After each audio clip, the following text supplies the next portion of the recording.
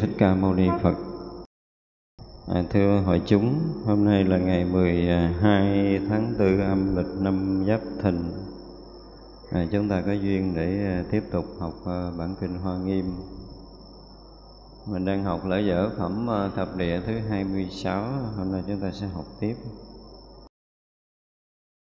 Tùy thuận vô minh khởi ba cõi nếu không tùy thuận ba cõi dứt có đây, có kia, không cũng vậy.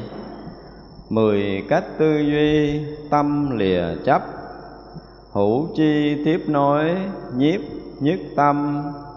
Tự nghiệp chẳng rời và tam đạo. Tam tế, tam khổ nhân duyên sanh. Hệ phượt khởi diệt, thuận vô tận. Như vậy quán khắp pháp duyên khởi vô tác vô thọ, không chân thiệt. Như huyễn, như mộng, như bóng vang, như kẻ ngu chạy theo dương diệm. Quán sát như vậy vào nơi không, biết duyên tánh ly được vô tướng. Rõ pháp hư vọng không nguyện cầu, chỉ có từ mẫn độ muôn loài. Đại sĩ tu hành môn giải thoát càng thêm đại bi cầu phật pháp. Biết các hữu vi hòa hiệp làm, chí nguyện quyết định siêng hành đạo. Môn không tam muội đủ trăm ngàn, vô tướng vô nguyện cũng như vậy. Bát nhã thuận nhẫn đều tăng thượng, giải thoát trí huệ được thành mãn à, hôm nay chúng ta sẽ tiếp cái phần à, kệ tụng.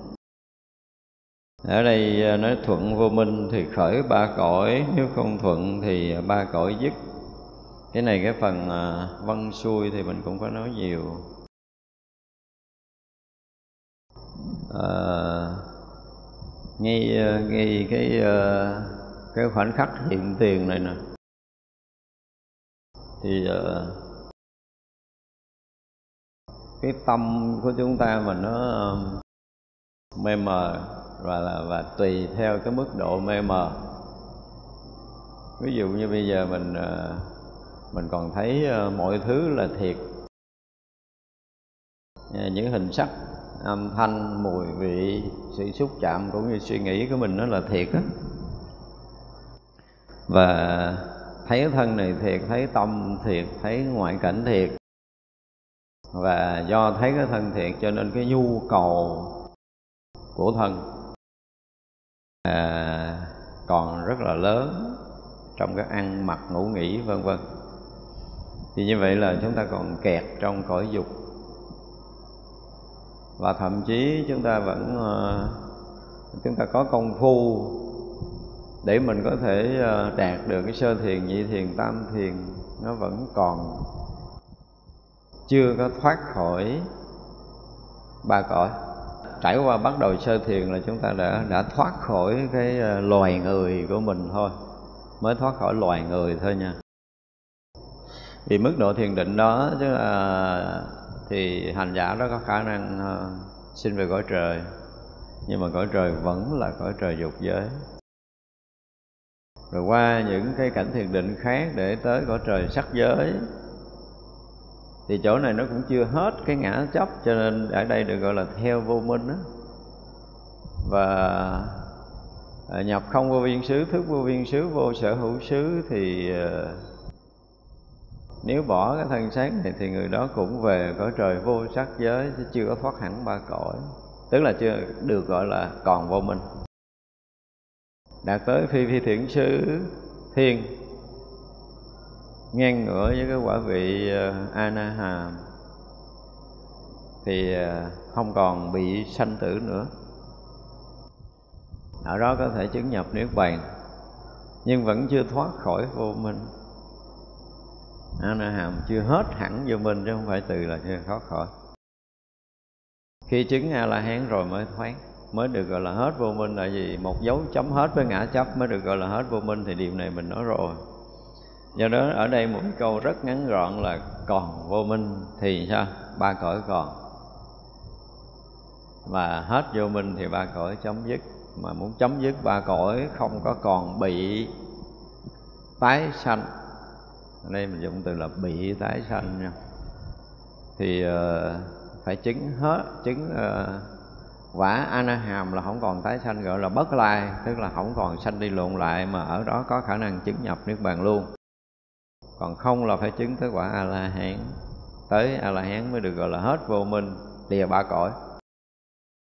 Thì như vậy là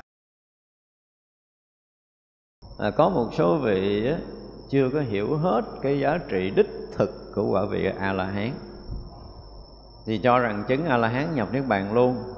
Xin thưa không có nếu chứng a la hán nhập niết bàn luôn thì sẽ không có đức phật. Và không có những cái quả bồ tát mà chúng ta đang học cái gì hiểu do đó tất cả những cái bậc giác ngộ mà chứng quả a la hán rồi mà khởi đại bi tâm để à, đi vào các cõi nơi độ chúng sanh thì mới có là thập tính thập trụ thập hạnh thập hồi hướng và thập địa chúng ta đang học ở đây. À, thì như vậy là những bậc giác ngộ do trí tuệ giác ngộ tận cùng và chấm dứt cái ngã chấp rồi hết vô minh rồi và không còn bị kỳ cái nghiệp tập nào ảnh hưởng nữa. Do đó có đi cõi nào đi nữa thì cõi đó đi vào và ra tự tại. Chúng ta nên hiểu điều này. Chứ không phải vô đây quân tập với cái um, đó là không phải quân tập mà mượn cái nghiệp người của mình để sống trong cõi người. Mượn cái nghiệp người để sống trong cõi người một giai đoạn nào đó thôi và xong thì bỏ cái cái nghiệp người luôn, bỏ cái thân người và bỏ nghiệp người luôn không bị, không có mang theo nữa, không có mang. Và cái nghiệp người của cõi dục này không đủ sức để ảnh hưởng định lực của một vị a la hán cho nên là không bao giờ một vị a la hán bị nhiễm trong cái nghiệp người này. Chúng ta hiểu rõ cái điều này dùm cái. Tức là không bị tái sanh. Hiểu không? Không bị tái sanh. Nhưng vẫn làm chủ lui tới ở đây chứ không phải không bị tái sanh là không có tới lui đây được. Đừng bao giờ nghĩ điều đó.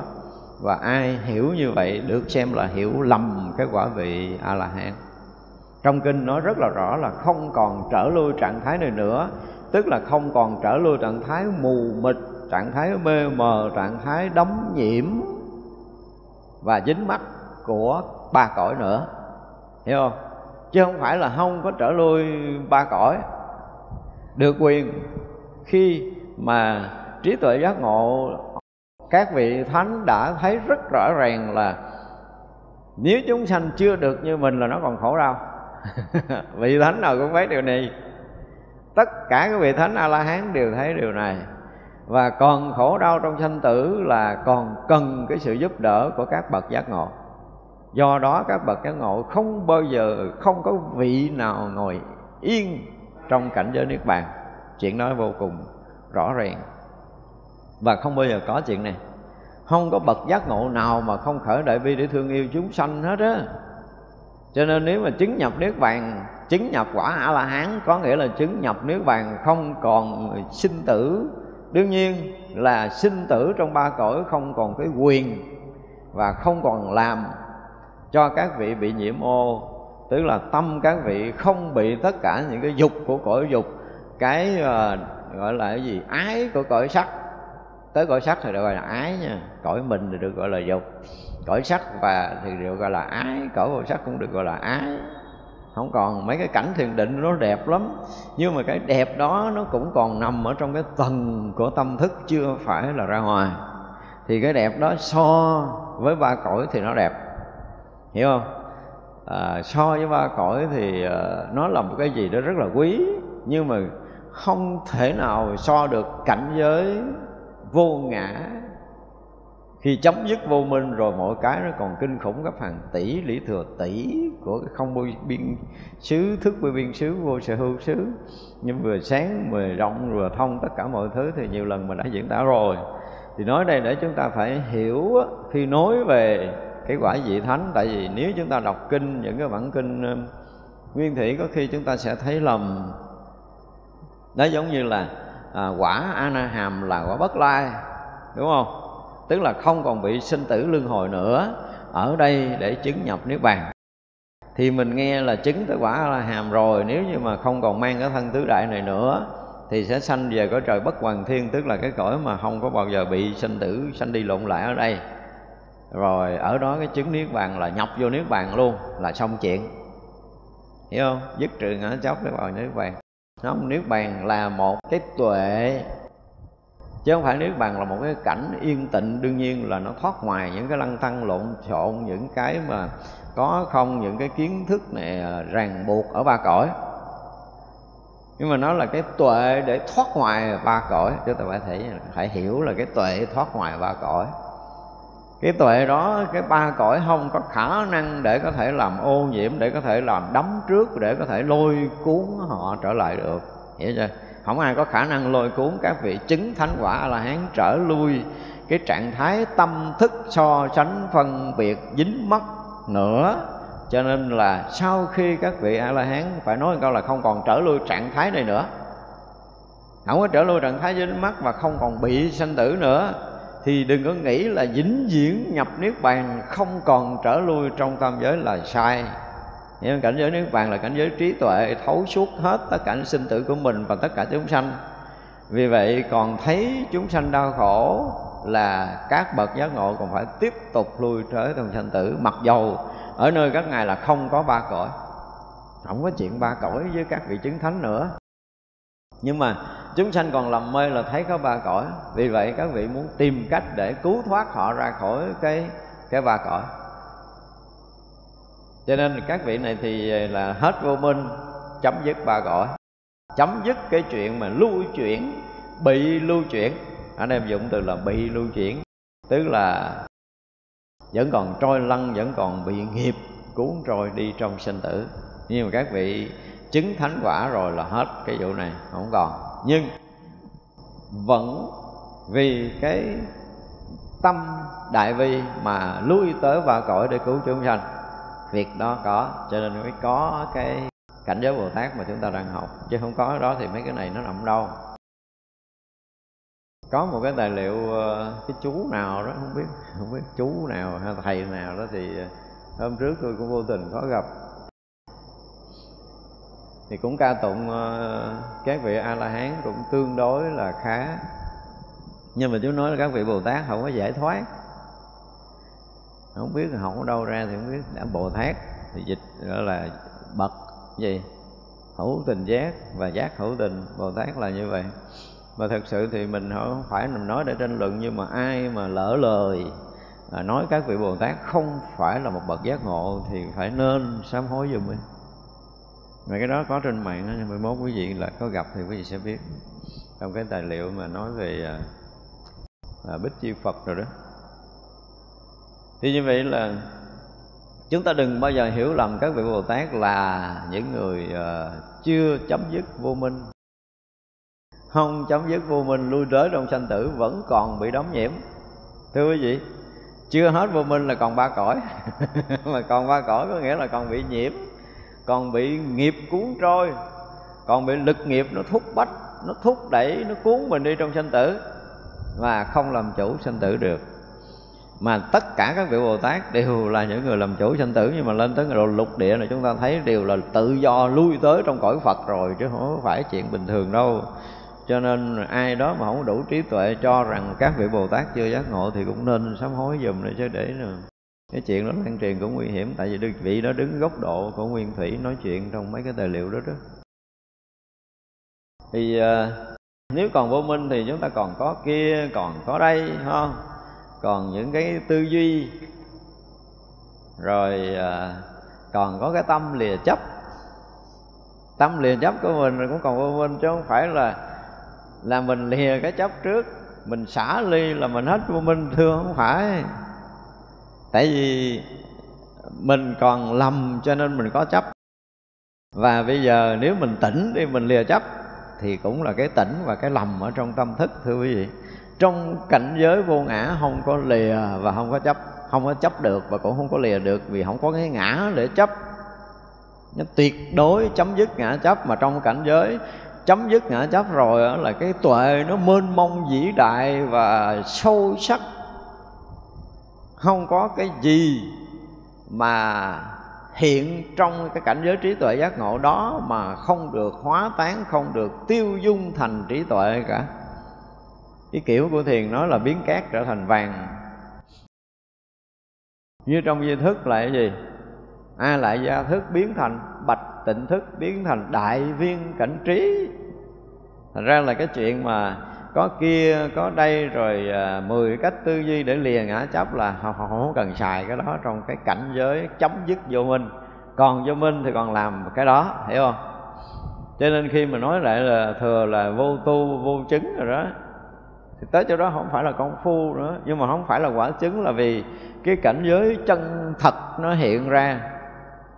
Và cảnh giới chân thật đó là một cái trí tuệ rộng lớn mênh mông sáng suốt nhiệm màu à, tỏ thông không ngăn ngại.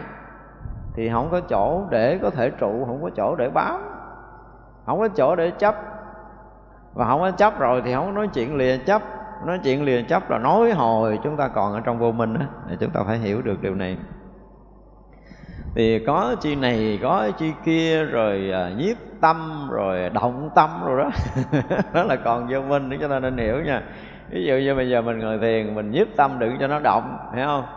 Là do tâm mình đang rối loạn và mình đang điều phục cái tâm của phàm phu của mình. Có nghĩa là mình còn bị vướng kẹt trong cái tâm phàm phu. Do đó mà có nói chuyện là à, có chi này chi kia tiếp nói và nhiếp tâm hoặc là chúng ta đạt tới nhất tâm đi nữa thì cũng không phải. Tại còn tâm để đạt còn tâm để đạt tới nhất tâm thì nó vẫn là ở trong tâm thức. Chứ nó chưa có ra ngoài rồi tự nghiệp chẳng rời, cho nên vào, cái này thì dễ rồi, đúng không? Chúng ta không có rời khỏi cái nghiệp riêng của mình, thưa quý vị. Chúng ta chưa có cách đó. Chúng ta chưa có thuận diệt được cái lậu sinh tử. Do đó, nghiệp để mà nghiệp riêng của chúng ta, nó vẫn tiếp tục, nó hiện trong cái đời sống này của mình. Đây là một cái điều rất rõ ràng. Thôi, mỗi người mỗi nghiệp khác nhau, không ai giống ai do đó là cái sự ờ, hiểu biết cũng như cái công phu này nọ nọ kia, những cái nhận định của mình trong cuộc sống là chúng ta chỉ hiểu biết và chúng ta chỉ nhận định trong cái vòng kiến thức nghiệp tập của riêng mình. Cho nên mình hiểu dù có hay lắm đi nữa thì nó chưa phải là chân lý, thưa quý vị. Cái thấy của mình về một chuyện mà còn kẹt trong nghiệp thì cái chuyện đó nó chỉ khu biệt trong kiến thức riêng của mình, chứ mình chưa có thoát ra khỏi kiến thức để mình thấy người khác đúng như họ đang có. Dù là một chuyện nhỏ nhất, dù là một chuyện nhỏ nhất, mình không phải người khác, cho nên mình không thể hiểu hết người khác đâu. Thấy họ đi vậy có họ đứng vậy, họ đi đẹp, họ đứng đẹp, họ đi hay, họ đứng hay, cái là tung hô dạ thưa, không phải, họ đi vậy, chưa chắc là họ đã ở trong cái chỗ thanh tịnh. Mình hiểu nổi cái chỗ thanh tịnh tâm của người khác không? Dạ chưa. Và chưa thì mình đem ra bình luận là mình sai. Họ động hay là họ tịnh ở nơi tâm mình thấy không, cái đã, rồi họ nói. Và ví dụ như họ nhiếp tâm để họ được định đi mà mình thấy được cái sự nhiếp tâm đó một cách chính chắn chưa mà mà mà đem đi bàn bạc. Dạ chưa. Do đó tất cả mọi cái thấy đều là nghiệp riêng của chính mình. Và nghiệp riêng của chính mình thì đừng có đòi người khác phải thấy như mình và thấy ai không thấy giống mình, cái là cự cãi thành chuyện là nó, mình lại là vô minh, chồng thêm vô minh. Vô minh, chồng thêm vô minh. Tức là vô minh rồi mới nó dày. Nói theo kiểu thế gian là ngu lâu dốt bền, nó khó đào tạo. Ai mà muốn người khác giống mình, không giống mình, cự cãi chửi với rồi làm um sùm lên là rõ ràng là mình là vô minh dày. Cho nên ờ, có nghiệp mình thì mình ờ, gì không có rời, cho nên mình ra vào trong tam giới này rồi thấy có tam thế rồi tam khổ nhân duyên rồi hệ phượt khởi à, thuận nghịch vô tận. Rõ ràng là với mình mình thấy có ba cõi thiệt á. Cõi người đã thiệt với mình rồi đừng nói ba cõi. Mình là cái vậy đó. Mình chưa hỏi cái chưa có đủ cái tuệ để thấy là cái cái cái thân này là giả nữa mà đúng không? Mình chưa có cái tuệ để thoát ra cái thân. Tại vì nếu mình có cái tuệ thoát thân coi chừng mình chứng quả uh, tôi đào hoàng rồi. Một ngày nào đó vô tình chúng ta đủ cái tuệ. Đó chứ không phải vô tình đâu công phu chúng ta đủ. Thì lúc đó chúng ta thấy cái thân này ờ, đúng rõ ràng nó không có thiệt nè. Nó không phải là mình không phải của mình nó không phải tự ngã của mình nè và chúng ta đủ cái niềm tin đối với cái quả vị giác ngộ giải thoát nè. Chúng ta không còn bị vướng với những cái khuôn sáo lằn nhằn cái kiểu của trần tục. Nếu gọi là những cái khuôn sáo lằn nhằn kiểu trần tục. Rõ ràng quý vị đi vô một chỗ là nó có nội quy à. Đi tham quan thôi, rồi phải đọc nội quy vô cái khu tham quan này là phải thế này, thế kia, thế nọ rồi, đúng không? Đó, thì cái đó gọi là gì? Giới cấm thủ. Cấm rồi đó mà anh theo tôi là anh không được quyền làm khác thì được gọi là giới cấm thủ. Một sự bảo thủ với những cái nguyên tắc ràng buộc của thế gian thì đó được gọi là giới cấm thủ. Chúng ta phải hiểu như vậy nha. Chứ nhiều khi những cái giới lực đạo Phật thì nó khác à giới giới của đạo Phật được gọi là sila, có nghĩa là biệt biệt phần giải thoát. Có nghĩa là anh giữ giới đó, anh thoát khỏi cái ràng buộc chính mắt đó.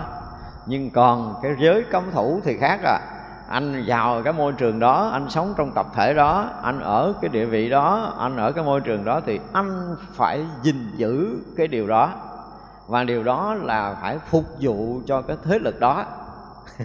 Đúng không?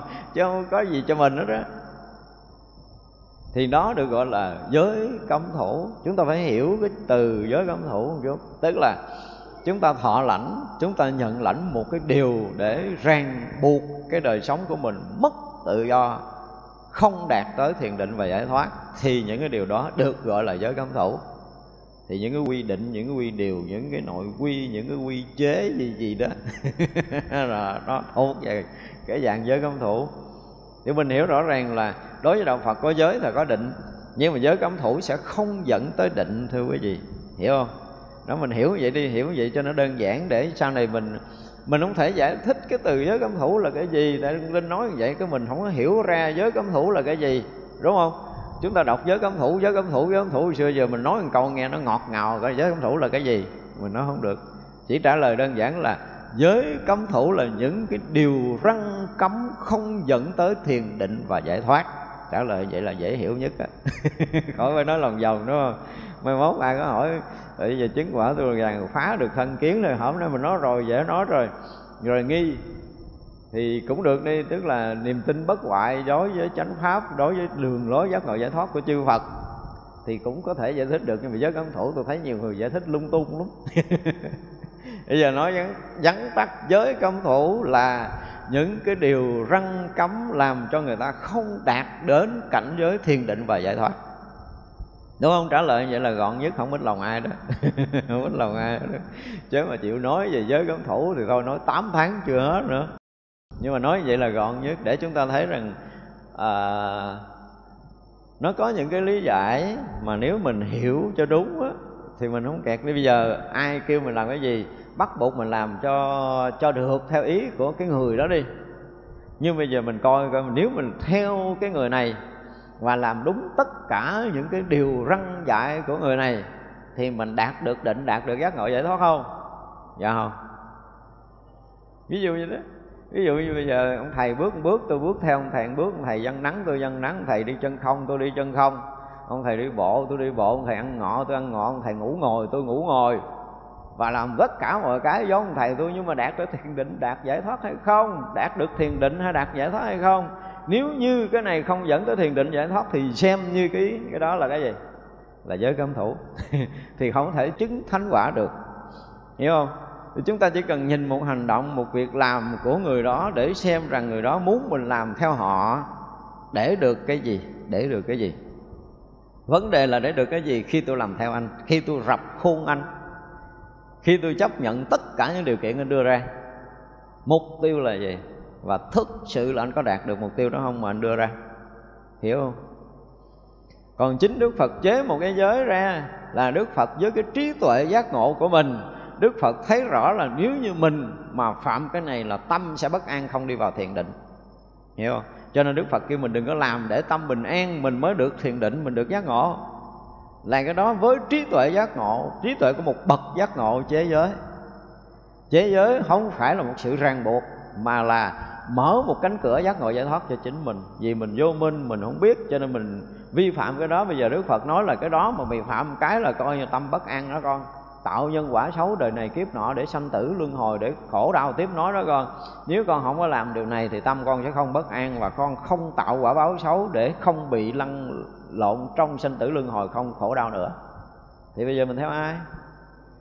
Nó rõ ràng thì vậy là đó là giới là mở mỗi một giới là một cánh cửa giác ngộ giải thoát. Nhưng còn giới cấm thủ là sẽ bắt đầu vào khung sáo đi theo cái nguồn máy nào đó để chúng ta phục vụ cho quyền lực quyền lợi nào của cái người làm chủ chế ra cái đó dẫn tới sự ràng buộc và trầm luân. Và chỉ phục vụ cho cái người lãnh đạo đó mà thôi thì đó được gọi là giới cấm thủ. Nhưng mình không có nói nó, nó, nó quá nó bết lòng mình chỉ nói đơn giản là giới cấm thủ là không dẫn tới thiền định và giải thoát. Còn giới của đạo phật dẫn tới thiền định và giải thoát. Đơn giản vậy thôi. Thì giới nào mà dẫn mình tới thiền định, giác ngộ, giải thoát thì mình theo.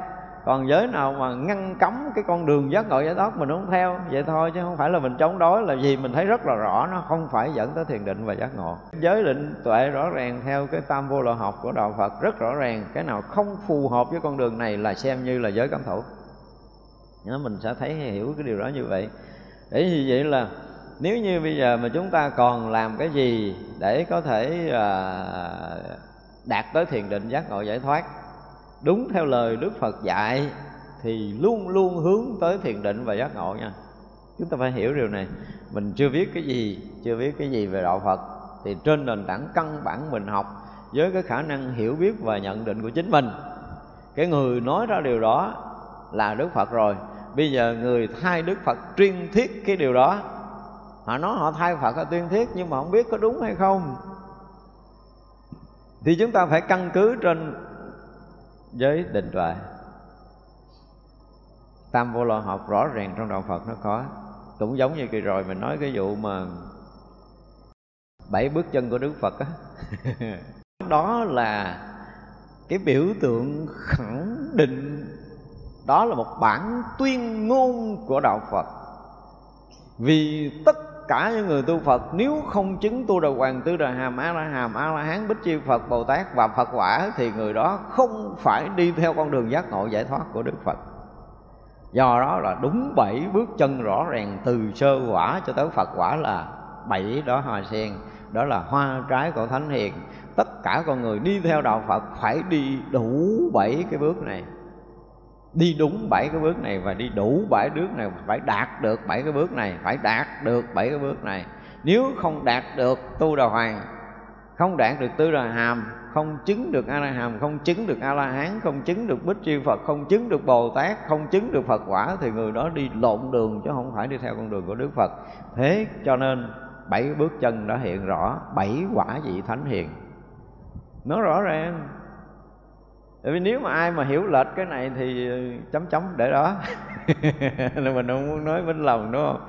Nhưng mà đến đạo phật, rõ ràng là bảy con đường, bảy cái cánh cửa của thánh hiền, bảy bước chân của thánh hiền, bảy quả chứng của thánh hiền hiện ra rất là rõ. Thì đó như vậy đó. Cho nên học mỗi cái chúng ta phải đủ cái tranh kiện tôi nói là chúng ta ở bất kỳ lĩnh vực nào thì chúng ta cũng phải đủ chánh kiến của lĩnh vực đó thì mới được là gì? Người có trí trong đạo phật. Còn không là coi chừng chúng ta bị cái gì đó, bị tác động, bị lực cuốn hút, bị nghiệp riêng này nó nó dẫn chúng ta đi mệt lắm.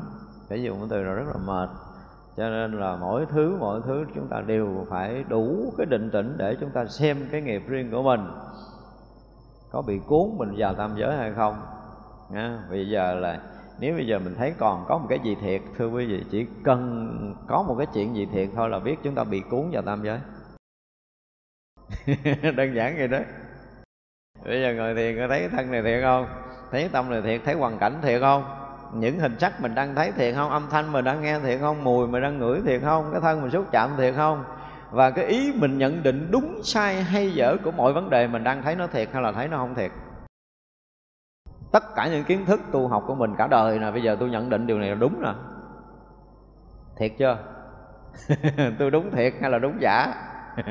Đúng trong nhận định, đúng trong kiến thức, đúng của tâm thức, đúng với cái sự quân tập hằng hà sao số kiếp của mình. Và đó chỉ là cái đúng của sanh tử. Còn chân lý không phải là sự kết luận này. Có chừng mình đi một vòng cuối cùng mình bị kẹt ở cái chỗ kiến thức của chính mình. Thì tôi đang thấy đó là đúng. Đấy, đúng với chân lý, đúng với đạo luôn nữa. Nhưng mà ai thấy đúng là tôi thấy đúng. Tức là còn ngã, có còn vô minh. Cái đúng ở trong tầng của vô minh chưa thoát ra. Khi nào chúng ta thực sự thoát khỏi vô minh để chúng ta hiển hiện chân lý mà không thông qua bất kỳ cái sự pho chánh phân biệt nào và chân lý đó thì mãi mãi hiện hữu chứ không nói đúng sai. Không có nói đúng sai ở đây. Đúng sai. Nếu được, ngày nào đó mình còn cái đúng thiệt, cái sai thiệt là ngày đó chúng ta vẫn còn khẳng định mình còn ở trong ba cõi. Không phải chuyện đơn giản. Do đó cái kiến thức, kiến giải, cái kinh nghiệm, cái cuộc sống của mình hoặc kiến thức, kiến giải hoặc là kinh nghiệm của công phu được gọi là sở chứng hoặc là sở đắc của chúng ta còn có một cái chỗ để mình có thể chứng, còn có chỗ cũng có thể đắc, thì là y như người mê cũ không khác. Có một chỗ chứng nào bất kể, nếu mình thấy mình còn chứng. Còn chứng thì còn người, còn còn còn ngã và còn pháp thì còn mê y như cũ thôi. Đó thì vậy là tư nghiệp nó dẫn chúng ta vào ba cõi. Còn thấy đúng, thấy sai là còn tư nghiệp. Còn thấy có mình là còn tư nghiệp chứ không cần đúng sai. Còn có bản ngã là còn riêng bản ngã không có anh nào giống bản ngã anh nào. Và cũng không ai chấp nhận ai. Nếu như bản ngã nói về bản ngã thì không ai chấp nhận ai. Nhiều khi chúng ta gật đầu là chúng ta thấy đúng như cái của mình. Ở phương diện nào đó thôi. Đúng không? Thì như vậy là ngày đó, giờ đó, phút giây đó chúng ta chấp nhận con người đó với kiến giải đó. Chứ không phải chấp nhận hoàn toàn, thưa quý vị.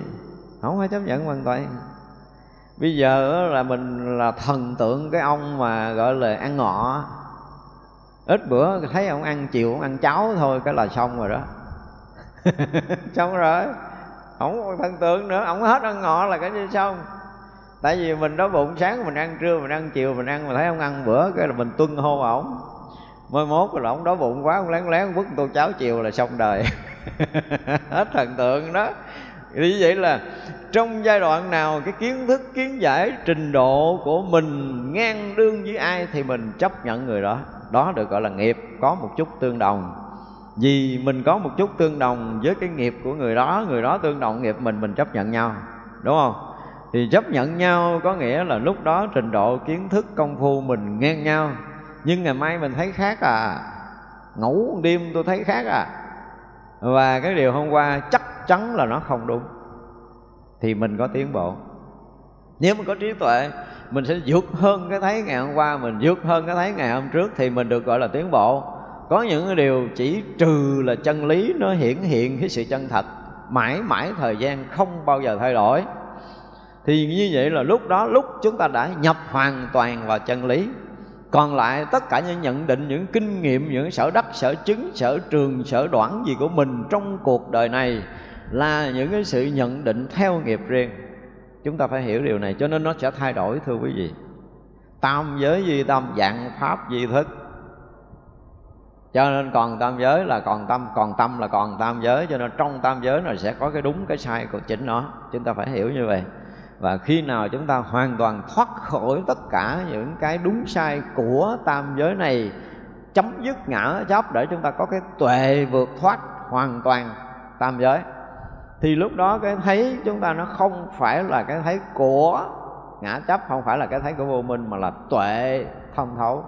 Thì cái tuệ thông thấu đó nó là chân lý hiển hiện. Không nói chuyện đúng sai. Tới đó không nói chuyện đúng sai đâu, thưa quý vị. Tại vì sao?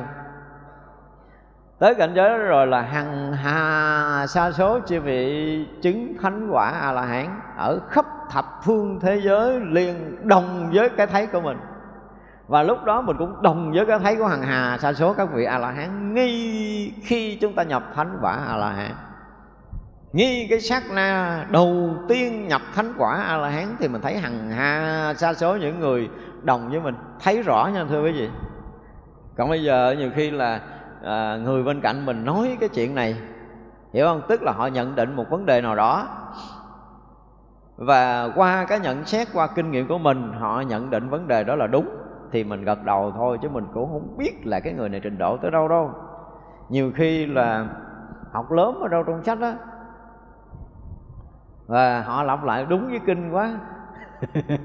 Đúng với kinh của mình nghe mình nói, ông cha này nói trúng kinh quá là chắc còn chả giỏi lắm mà nhưng có một câu à câu thứ hai coi chừng trật. Thì vậy là sự chấp nhận của mình về sự việc đó chúng ta nên biết như vậy đó. Giờ mà, bây giờ mình hiểu, mình chấp nhận vị này, hiểu chấp nhận vị kia ở cái câu nói đó, mình phải khẳng định với mình như vậy. Ở cái việc làm đó, ở cái hành động đó, họ đang đúng với cái việc mà mình đang thấy. Còn cái việc mình không thấy là chưa chắc họ đã đúng. Cho nên mình kết luận người này hay là không có được. Có một chuyện không kết luận được đâu, thưa quý vị thậm chí là cho họ người thiền họ nhập định 5 tháng 7 tháng cũng chưa hẳn chưa hẳn là đã chứng thánh quả. Mà mình phải nói rằng, người này có khả năng nhập định 3 tháng, người này có khả năng nhập định 5 tháng, chứ không phải là người này nhập định 5 tháng là sẽ thành Phật. Giả thưa, không phải cái chuyện này đâu à xin lỗi à năm ngàn kiếp chưa chắc đã giác ngộ, đừng có nói.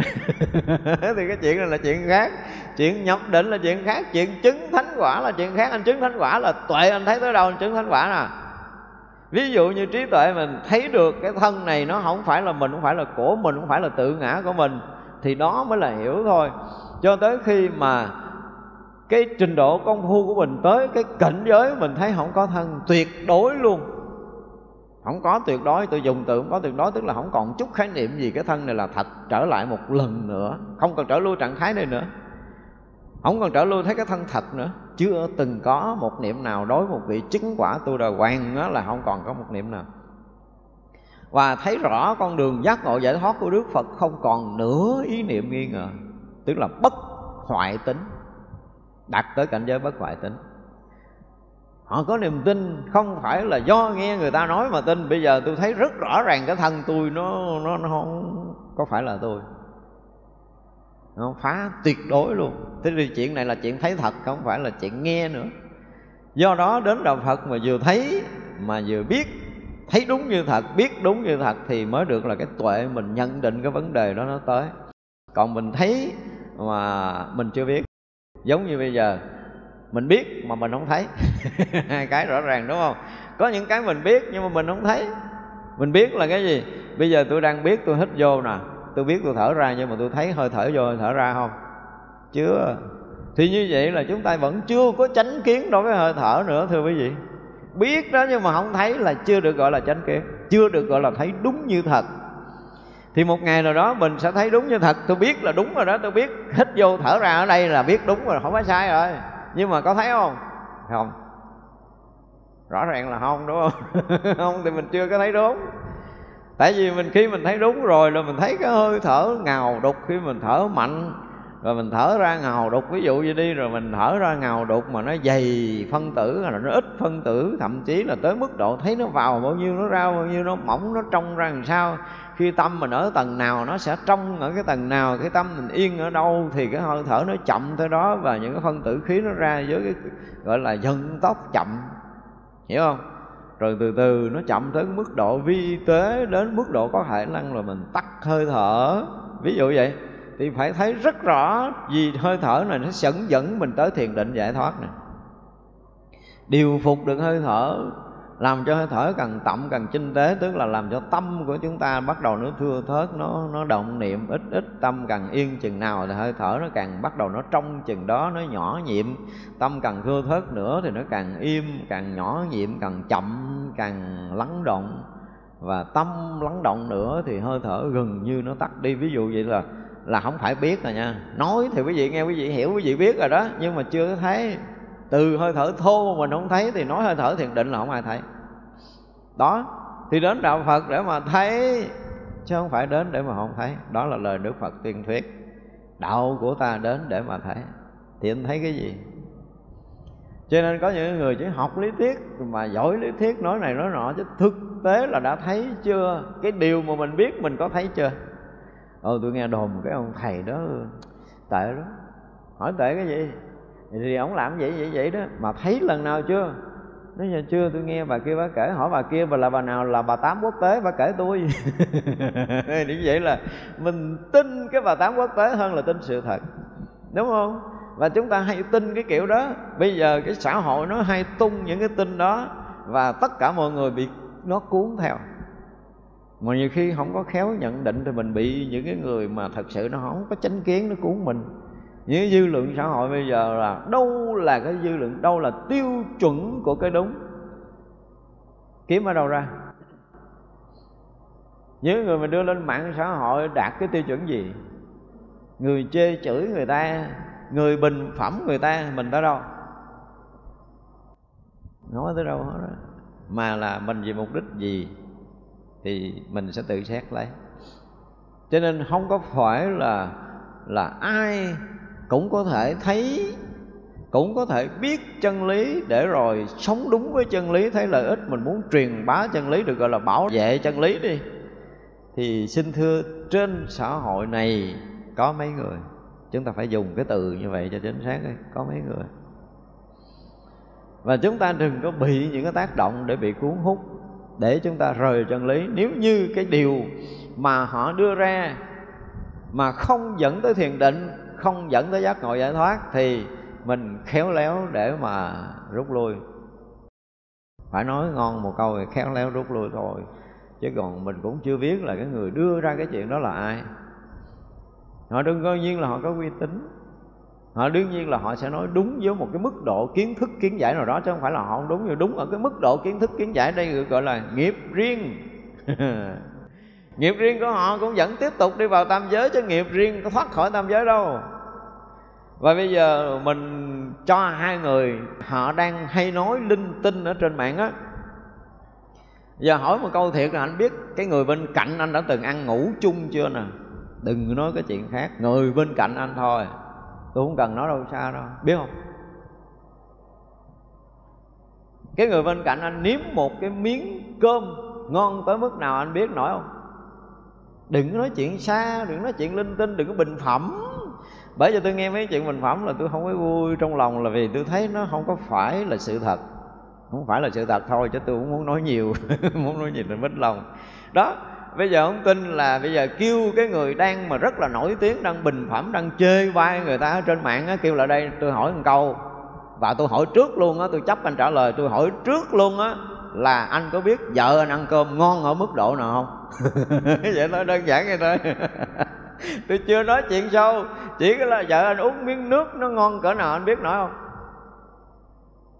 Anh sống một đời chung với người ta đó.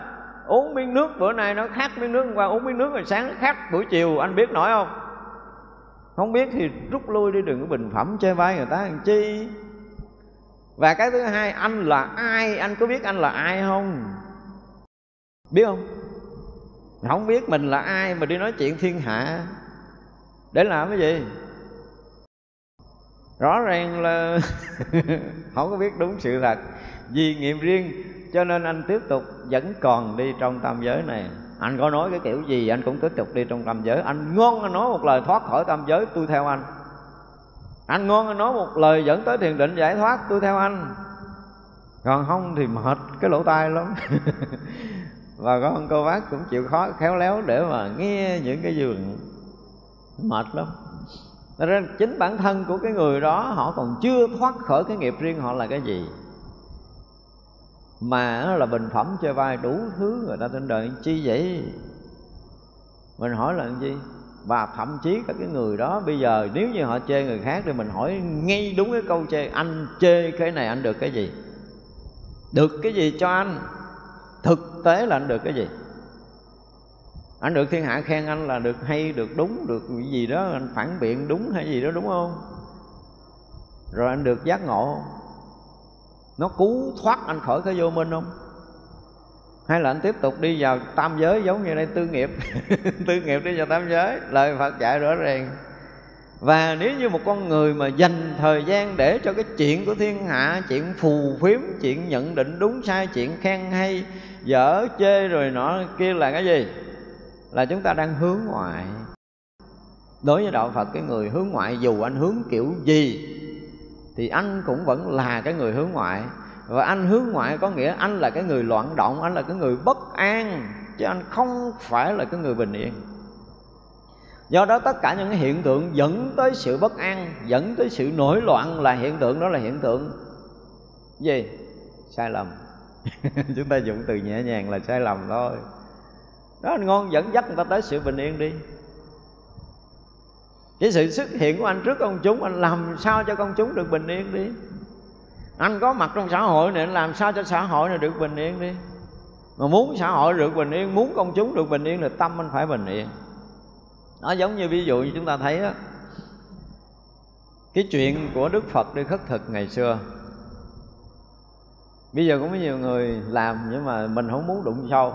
Nên chúng ta chỉ thấy một cái chuyện rất nhỏ trong cái oai nghi của một người đi khất thực nè.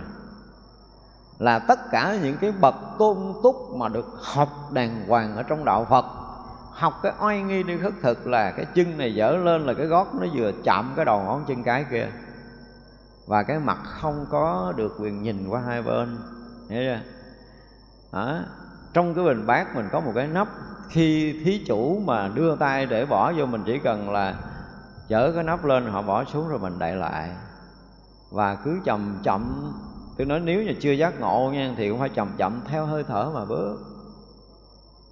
Từng bước chân rất là nhẹ nhàng, rất là an lạc và rất là đúng với oai nghi. Cái tay trái ôm cái bình tay phải để trên nắp bình như thế nào? Và khi một người thí chủ bỏ một hạt cơm vào thì mình phải nhất tâm để chú nguyện. Người thứ hai bỏ hạt cơm vào mình cũng nhất tâm chú nguyện. Chứ không có cái vụ không có vụ đó không có vụ đó. Nhìn quan nghi là biết ai rồi. Và cái người đi á, nếu mà họ ở trong cái an lạc thanh tịnh chúng ta nhìn thấy oai nghi chúng ta sẽ biết. Có nghĩa là mình dùng từ là người có tu thì oai nghi có tế hạnh. Đó, tôi nói là oai nghi chưa đụng tới tế hạnh nha. Oai nghi của họ rất là trang nghiêm, rất là tề chỉnh. Mà trang nghiêm, tề chỉnh không phải là một sự gượng ép, mà nó rất là tự nhiên. Vì tâm của họ quá an lạc và thanh tịnh, cho nên những oai nghi, cử chỉ, hành động của họ thể hiện sự an lạc và thanh tịnh đó. Nếu mình là phật tử mà thấy như vậy thì mình có thể cung kính vì người này có công phu bạn đi cà sải cà sải cà sải mà có nhiều người cung kính thì tôi cũng không biết họ kính cái gì. Và ngày xưa theo đúng đó, là ví dụ nha Đức Phật đúng giờ Đức Phật mới khởi bước đi Gọi là khất thực. Và với trí tuệ của Đức Phật Ngày đó theo nhân quả Người nào được cúng trước Người nào được cúng sau thì Đức Phật sẽ xuất hiện trước cái người cúng trước trước người cúng sau là cái điều này mình nói rồi. Tôi nói là cái chuyện khất thực, tôi nói 8 ngày chưa hết, thưa quý vị. Cho nên chỉ cần à, thấy bước chân của anh là đủ không cần bình phẩm. Thấy đi một bước là biết rồi. Khỏi cần bình phẩm. Cái kiểu gì đi nữa thì nó cũng đã là lệch. Phải nói một câu như vậy, anh đã một bước lệch thì muôn đời anh sẽ bị lệch. Và như vậy là đó, không có đủ cái chánh kiến của cái việc khất thực thì đừng có nói chánh kiến phật đạo. Hiểu chưa? Cho nên khi mà chúng ta muốn nói về một người tu đi ngoài đường, hay là ở trong chùa, thì ít ra chúng ta cũng đã từng tu ở ngoài đường và chúng ta đã từng tu ở trong chùa, thưa quý vị. Ở ngoài đường mình chưa từng tu và ở trong chùa mình chưa từng tu. Mà mình đi nói linh tinh thì mình là cái gì? Mình là hàm hồ. Mình chưa làm, mình chưa còn biết cái cảnh giới đó. Thì trong bốn quay nghi của người tu phật, đi tu như thế nào, đứng tu như thế nào, ngồi tu như thế nào, nằm tu như thế nào, mình biết chưa? Mà đi nói linh tinh, đó là những cái điều mà chúng ta phải thấy, cho nên là chúng ta phải phải nói là đừng có bị tác động bởi dư luận. Chúng ta học đạo một cách rất là là kỹ lưỡng, rất là tỉ mỉ, rất là minh bạch, rất là rõ ràng, rất là thông thấu khi mà chúng ta đối diện với chân lý của đạo phật để chúng ta học. Và sau khi học chân lý đó rồi, chúng ta ứng dụng có lợi hay không? Có những khi ông thầy này rất là nổi tiếng, chúng ta học, chúng ta làm không được. Thì ông thầy đó đối với mình cũng không hay ho gì phải nói một câu như vậy, đúng không? Ổng hay là cái chuyện của ổng. Và cái hay của ổng là hay, thực tế công phu hay bằng cái gì thì rõ ràng là tới giờ phút này mình cũng chưa biết nào, đúng không? Chưa? Nghe ông nói vậy thôi, chứ không biết ông có tu hay không là điều đó mình chưa biết à tại vì mình chưa đủ cái trình độ, chưa đủ kiến thức để thẩm định công phu của người khác trong đạo phật bước đầu tiên, hoa sen đầu tiên, ổng bước lên chưa? Trong bảy bước của đức phật, đúng không? Hoa sen đầu tiên là quả tu đà hoàng không có bước được đó hoa đầu tiên mà nói về đạo phật thì coi chừng. Chúng tôi dùng từ là coi chừng. Chưa đủ chánh kiến đâu, thưa quý vị. Chưa bước được hoa sen thứ nhất, tôi dám cam kết là chưa đủ chánh kiến trong đạo phật anh chưa phá vỡ được thân kiến, tức là chưa phá vỡ được cái thấy lầm của vật chất này. Cái thấy lầm cái thân vật chất anh chưa phá vỡ. Và anh chưa có thấy, anh chưa có biết, anh chưa đạt tới cái cảnh giới bất hoại tính của đạo phật. Thì chánh kiến ở đâu ra? Anh nói anh hiểu tứ đế, anh hiểu 12 nhân duyên, gọi chánh kiến dạ thưa. Điều đó là điều phật nói, chứ không phải điều anh thấy. đúng không? Anh hiểu tứ đế do đâu anh đọc kinh, nghe giảng anh hiểu. Nhưng mà thực chất về thổ đế, là mình đã trải nghiệm như thế nào? Không có. Và thoát ra thổ đế như thế nào cũng chưa chắc là đã có. Và chưa có đủ như thế này thì đừng gọi là chánh kiến cho nên những cái hành động, việc làm nào mà chúng ta nhìn thấy, chúng ta nhìn thấy, chúng ta phải đem cái, gọi là cái căn bản của đạo phật ra để mà chúng ta rà xét chỉ mà tôi nói bảy bước qua sen để chúng ta có thể thẩm định được cái việc học và việc tu của mình. Mình đi theo đạo phật bao nhiêu năm trời rồi, bây giờ bước được hoa sen nào chưa, cái đã, hả, nói chuyện còn những người chưa từng theo đạo phật mà vẫn chê vai thì thôi, chuyện đó mình không bàn đi, cái đó không bàn đi, ở ngoài xa lắm rồi. Nó cho nên phải thoát được cái tư nghiệp để anh có thể hòa nhập trong cảnh giới của thánh hiền là một cái chuyện hoàn toàn khác, thưa quý vị. Thật ra ở đây nếu mà anh còn còn tư nghiệp là còn tôi lui tới trong tam đồ ác đạo. Nói thẳng thắn là như vậy và nếu như chúng ta chưa có công phu một lần nào để chúng ta thoát khỏi tư nghiệp thì chúng ta còn tiếp tục đi trong tam đồ ác đạo, thì ý kiến chúng ta có hay, trình độ chúng ta có giỏi, chúng ta có là ông gì, bà gì đi nữa thì tam đồ ác đạo chúng ta vẫn còn tiếp tục bị cuốn hút, bị trôi lăn. Thì hay cái chỗ nào mà học? Không phải nó không phải con đường giác ngộ, cho nên tăng ni phật tử chúng ta phải bình tĩnh để chúng ta học cái gì? Chúng ta đang muốn cái gì? Và thời gian của mình không có, thưa quý vị. Cho nên nếu như cơ duyên chúng ta được gặp chánh pháp, được gặp minh sư, chúng ta được học những cái chân lý giác ngộ giải thoát thì chúng ta nên tận tâm, tận lực và tiết kiệm thời gian dùng đi đừng có bị dư, đừng bị thừa thời gian thì thời gian của mình nó phải nói nó ít lắm. Cái quỹ thời gian của chúng ta nó còn kém lắm phải nói như vậy không đủ không đủ để cho mình công phu. Tôi nói là không đủ thiệt luôn á không phải đơn giản đâu đừng có dư thời gian với những cái chuyện linh tinh nữa thưa quý vị.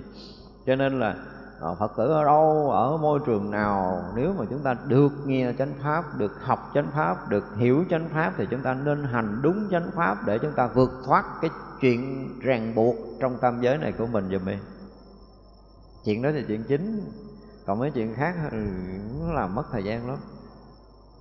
Vì cái thời điểm này phải nói thẳng là Cái thông tin đại chúng nó quá đi.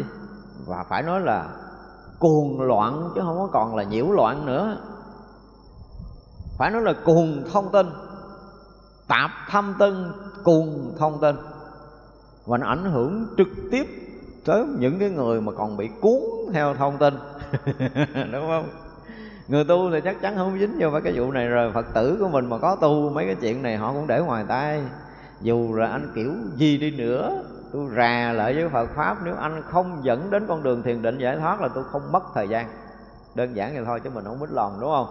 Tất cả những cái gì mà thông tin nó đưa lên, nếu như không có mở cửa giác ngộ giải thoát cho mình, không khai tuệ cho mình, không dẫn mình đi vào con đường thiền định giải thoát thì thôi vậy, không có mất thời gian mình tu mình nói đơn giản vậy thôi, tức là mình không bị nó cuốn nữa.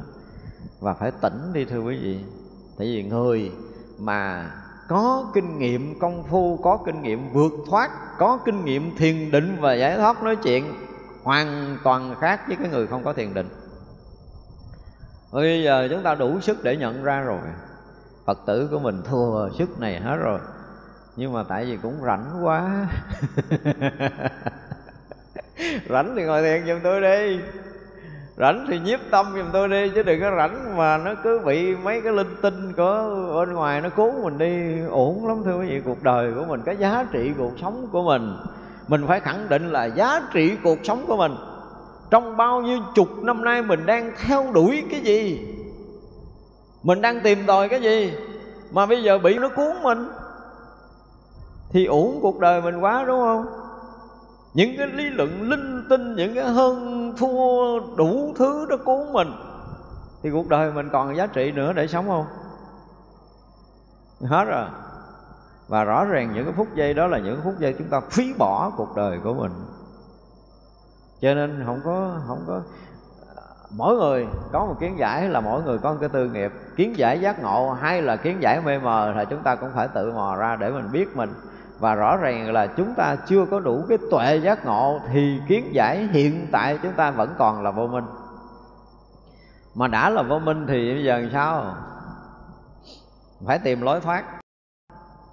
Chúng ta phải tìm lối thoát bằng mọi giá để mình thoát khỏi vô minh, để không có bị vướng vào tam đồ ác đạo tiếp nữa. Vậy thôi, vấn đề chúng ta bây giờ là cần như vậy. Cho nên nếu mà không có rời được cái nghiệp thì bị dướng vào tam đồ ác đạo thì chúng ta phải tìm đủ mọi cách không? Ba tam tế này ba cái tế à, là cái khổ của nhân viên những cái hệ phượt này nó khởi diệt nó thuận nghịch vô tận luôn. Không có dừng đâu thưa quý vị. Thành ra mình mà không có khéo á Thiệt từ sáng tới giờ nếu mình không có khéo giữ mình thôi Nội những cái thấy nghe linh tinh ở trong chùa thôi Đừng có nói chuyện ngoài xã hội Không có cần chuyện tranh đấu gì đâu. Người này đi kiểu này, người kia mặc cái áo kia Người nọ ngồi kiểu nọ, người kia cười kiểu của họ Người nọ nói chuyện kiểu của người đó. Rồi mình đứng mình ngắm đi, quý vị đứng ngắm đi. Và mình thấy người này đúng người kia sai người này đẹp người kia xấu người này hay người kia dở một chút thôi là mình đã đi đâu rồi đúng không? Mình đã bị mất mình rồi. Mất rồi chứ chưa nói tới cái chuyện gì ghê gớm lắm mà chúng ta luôn luôn bị mất như vậy thưa quý vị có bao giờ chúng ta thấy mỗi cái chuyện lộn xộn xảy ra trước mắt mà mình tỉnh nổi không? Có lần nào chưa? Có lần nào chưa? Hay là chúng ta thấy lộn xộn rồi mình động ra? Không tại vì nó đông quá, nhiều người quá, nó cuốn cái là mình đi mang theo, mình coi, rồi coi coi cái gì, nhóng nhóng nhóng nhóng, coi có cái gì. Cái chuyện lộn xộn thì chẳng có cái gì hay, thưa quý vị. Mày nói một câu vậy? Đúng không? Cái chuyện lộn xộn. Chuyện lộn xộn có chân lý ở đó đâu mà tìm. Những cái chỗ bát nháo là không bao giờ có chân lý, thưa quý vị đúng không? Chân lý nó không có nằm những cái chỗ bát nháo đâu, đừng có lủi vô đó. Những cái sự tranh đấu, không có cái tranh đấu nào ra chân lý cả. Chân lý nó không có tranh đấu, chân lý nó không có hai bên. Chân lý không có chuyện thắng và thua. Còn tranh đấu để tìm thắng thua, tức có nghĩa là chúng ta không phải là người tìm chân lý. Chúng ta phải khẳng định với mình điều này. Cho nên chúng ta ngã phe nào có nghĩa là chúng ta xa rời chân lý chúng ta dựa bất kỳ cái phe nào theo bất kỳ cái phe nào ủng hộ bất kỳ cái phe nào thì chúng ta đang xa rời chân lý. Chân lý không có phe phái không có chuyện tranh đấu hai bên bên này thắng bên đó là chân lý đó là chân lý của thế gian. Còn chân lý giác ngộ giải thoát là lìa thoát hai bên. Rõ ràng là không dính hai bên nó mới là chân lý của giác ngộ giải thoát. Bây giờ chúng ta phải khẳng định như vậy để chúng ta đi gì, đi đi đâu, đi tìm cái gì chứ? Chúng ta theo ai, theo ai? Đó, là tới giờ phút này mà Tăng Ni Phật tử chúng ta cũng phải đủ cái tuệ này dùng để khi mà mình muốn nói cái gì muốn làm cái gì muốn nghĩ cái gì muốn theo cái gì thì chúng ta phải coi coi là nó phù hợp với chân lý nào. Nếu muốn đi theo con đường thế gian thì kiếm một phe nào đó cho nó mạnh mình theo. Đúng không? Kiếm gốc để tựa còn nếu muốn giác ngộ giải thoát là không có bên nào hết đó, thưa quý vị. Chúng ta phải thực sự ra ngoài những cái phe phái tại vì mỗi phe phái nó đều có một kiến thức riêng để nó tạo cái lực hút mình theo. Mình không có dám nói từ khác mình dùng từ là kiến thức đi. Từ kiến thức là từ là tư tưởng đó để nó có thể cứu mình theo. Còn bây giờ mình là con người muốn thoát ra khỏi hai bên này nếu mình muốn học đạo, giác ngộ, giải thoát thì phải tìm mọi cách để chúng ta thoát khỏi ra hai bên. Để mình có thể giữ yên được mình, thưa quý vị. Trước những cái hoàn cảnh mà gọi là gần như chúng ta nếu mà nhìn ra là không có cái gì yên ổn cả. Nhìn nhiều góc cạnh của xã hội bây giờ, từ trong nước cho tới quốc tế, quý vị, nếu mà nhìn ra thì đúng là thiệt nó kinh khủng lắm, thưa quý vị và nếu như mọi chuyện mà nó ập tới mình như vậy thì mình sao? Mình sao? Nền tảng yên ổn, thanh tịnh, định lực chúng ta có được bao nhiêu để có khi mà một cái sự ập tới, một cái bất ngờ, thì chúng ta đi đâu về đâu? Chúng ta là ai? Chúng ta thành cái gì? Đúng không? Giờ lỡ như bây giờ hít khí độc ngã cái đụi giải đạch đạch chết đi, thì mình sẽ ra làm sao? Có bao giờ mình đặt lại cái chuyện đó cho mình chưa? Mà biết, biết xã hội nhiều quá. Giải đạch đạch chết mình thành cái gì? Đó mình cũng rõ ràng. Mình không biết cái chuyện này. Mà dư hơi đâu mà biết cái chuyện thiên hạ. Nếu chúng ta có tu thì chúng ta phải tự phải nói là tự phản biện lại chính mình. Mình đang làm cái việc như vậy mình đang hiểu như vậy mình đang hướng tâm như vậy dẫn tới cái gì? Nó sẽ đi đâu, về đâu với cái sự hướng tâm hiện tại của chính mình Bây giờ đặt cương vị, mình là người xuất gia thì nó hoàn toàn khác, Phải đặt mình vào con đường giác ngộ giải thoát Chúng ta không cần bàn thêm nữa, đúng không? Cư sĩ tại gia, nếu mà chúng ta đã quyết lòng đi theo con đường giác ngộ giải thoát của Đức Phật, Thì cái việc chính là việc gì? Việc phụ là việc gì? Thì cái việc cuộc sống là chính hay là phụ? Chúng ta phải xác định rõ à đương nhiên cái việc đang làm chúng ta không bỏ dở vì mình là cái người à, không phải đứng trong hàng ngũ xuất gia thì những cái sự nghiệp những công việc làm ăn chúng ta vẫn làm bình thường. Đó là chuyện bình thường đó là chuyện bình thường như mọi người. Nhưng chúng ta khác cái bình thường là gì? Chúng ta có phương tiện để dành cái thời gian công phu tu tập. Đó là cái khác của cái người chưa biết đạo. Khác nhau một chút vậy thôi tôi không hơn anh cái gì hết đó nhưng mà tôi hơn anh là tối anh ngủ ngái kho kho tối tôi được ngồi ngồi thiền tối tôi được định tâm. Dù cái chuyện tôi đang làm nó có được, thì tôi cũng không phải tự hào, tự đắc, tự cao, tự đại giống như anh. Dù cái chuyện tôi làm tôi bị thất bại, tôi cũng không đau khổ quằn quại như anh. Vì tôi biết rõ là cái phước tôi đã đâu khi cái phước tôi tới đâu thì tôi sẽ được hưởng cái đó và tất cả mọi chuyện xảy ra trong đời sống của tôi đều thuận với nhân quả rõ ràng. Không có nghịch, không có đi ngược nhân quả được đâu. Cái phước của tôi hưởng một đồng, tôi không dám mong cầu 10 đồng. Hai đồng, tôi không dám mong cầu, đừng nói là 10 đồng. Đương nhiên là với cuộc sống thì mình có lý tưởng. Nhưng mà đừng có vượt quá cho cái phước riêng để mình khổ, mình theo quá phước là mình theo không tới. Không có ai mà đạt được cái gì vượt hơn cái phước của mình, thưa quý vị và như vậy những cái mà mình mong muốn, những cái mà mình quyết tâm, quyết tử để mình làm, đem hết cái công lực, công phu, công sức của mình để mình làm cái việc đó mà nó không thành tựu, thì mình nên biết một cách rất rõ ràng là phước báo của mình nó không có đủ để đạt như cái mình mong muốn. Thì nên làm cho mình có phước hơn là đấu đá để đạt được đấu đá nó đạt được cái gì á? Chứ không phải đạt được phước báo. Chúng ta phải hiểu điều này. Cho nên mỗi một khi mà chúng ta thất bại với một cái việc gì, thì mình phải nhìn lại mình, tại sao mình thất bại? Không phải mình dở đâu. Có nhiều thằng dở hơn mình mà nó ngon hơn mình. Có không? Nhiều lắm. Bởi vì nó phước nó hơn nhưng mà nó dở ẹt ha. nhưng mình giỏi thiệt á. Mà cái phước mình kéo thì mình không có đem cái chuyện thành tựu của mình ra so sánh với người kia được, tại vì họ có tu hồi nào thì mình không có biết à. Và do nó tu nó có phước có phước cho nên mọi thứ nó khác mình. Khác mà nó khác, nó vượt trội lên mình, nó ở trên đầu mình. Rồi mình ngồi đây mình tức giận, tức chi nó mất phước thôi, tu đi, cho nó có phước, chứ đừng có tức, đúng không? Mình thấy mình thua người ta thì mình lo mình tu dùng cái đi, tại vì rõ ràng là phước tôi kém cho nên tôi không được như cái tôi muốn mình phải thấy rõ nhân quả là như vậy. Cho nên không phải là mình an phận mình vẫn muốn hơn bây giờ.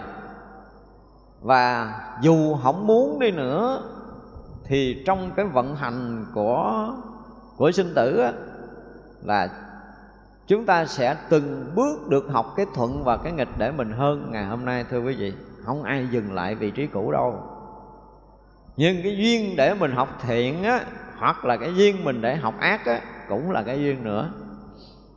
Do đó nếu mình phát khởi được cái thiện tâm và mình quyết đi theo con đường thiện á, để mình học những cái gì trong cảnh giới thiện, thì đó là gì? Đó là cái thiện căn nhiều kiếp chúng ta nói vậy. ra đời này mình lo mình làm thiện mình lo mình học điều thiện, lo học cái gì nó cao siêu. Nhưng cái phước chúng ta mỏng, mình nói học thiện thời gian cái mình chán, mình không muốn học nữa, mình gặp cái chuyện sốc cái mình bỏ luôn nữa, ví dụ vậy.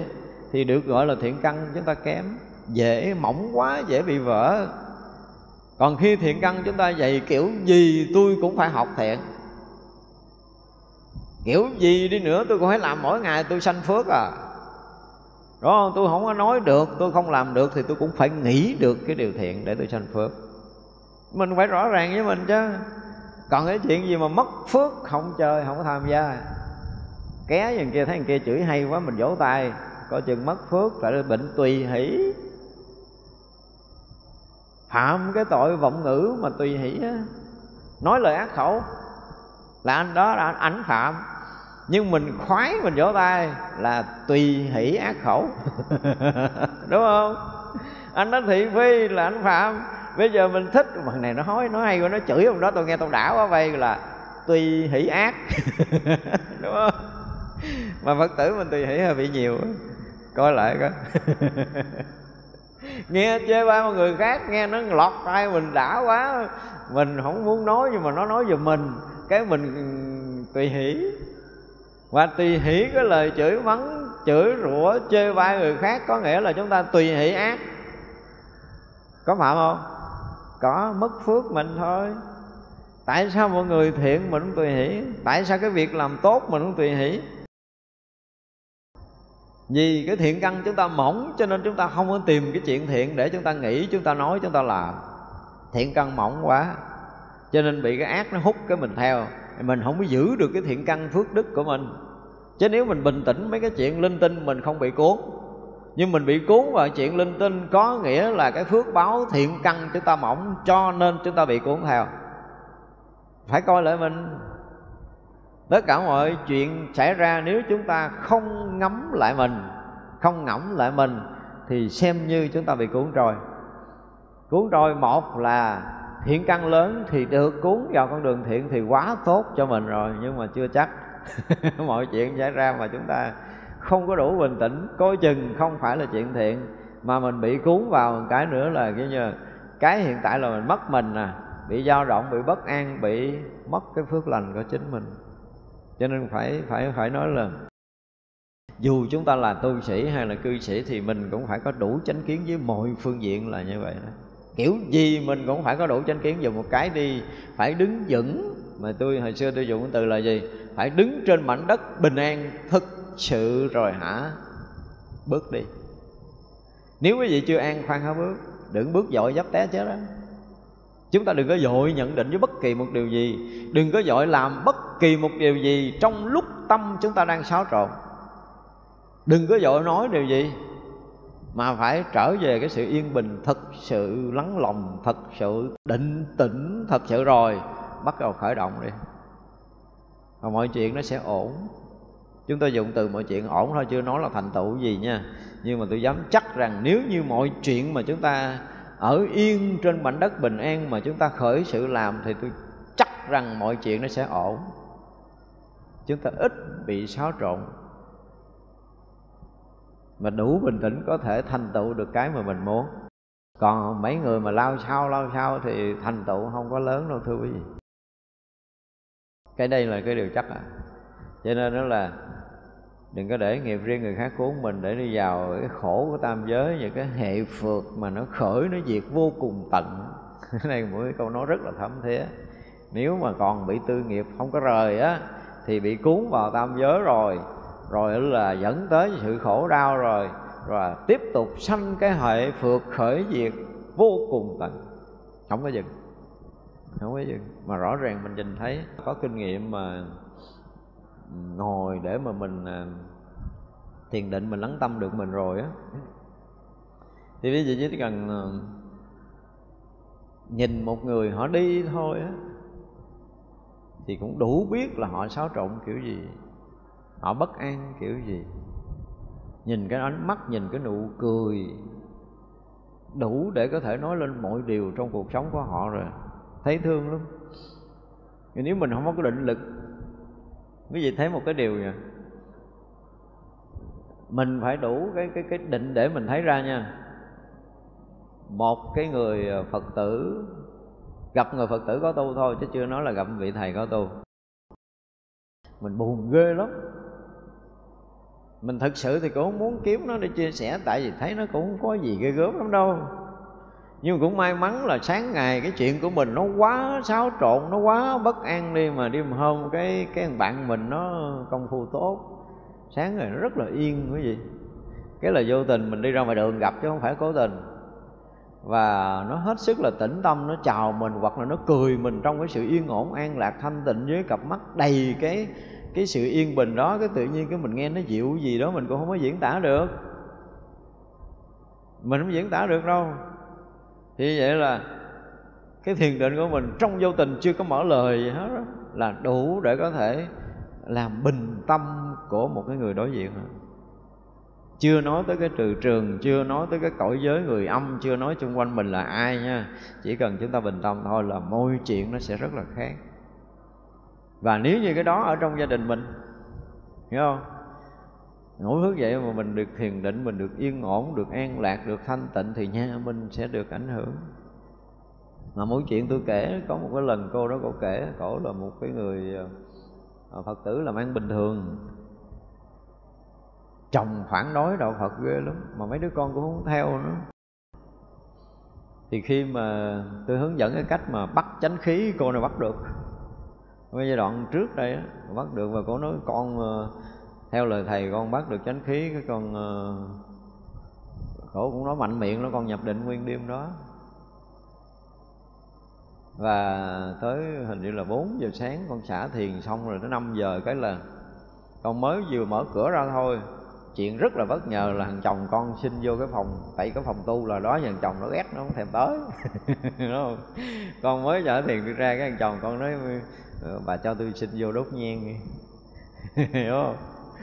Rồi là con bả cũng là xin mẹ cho con lại phật này, thấy cái phòng mẹ này nó có cái gì á, họ cảm cảm được như vậy, tức là người thân cảm được cái định lực của cái người đó và tất cả người làm trong cái ngày hôm đó lục tục với nhau vô phòng đốt nhang à.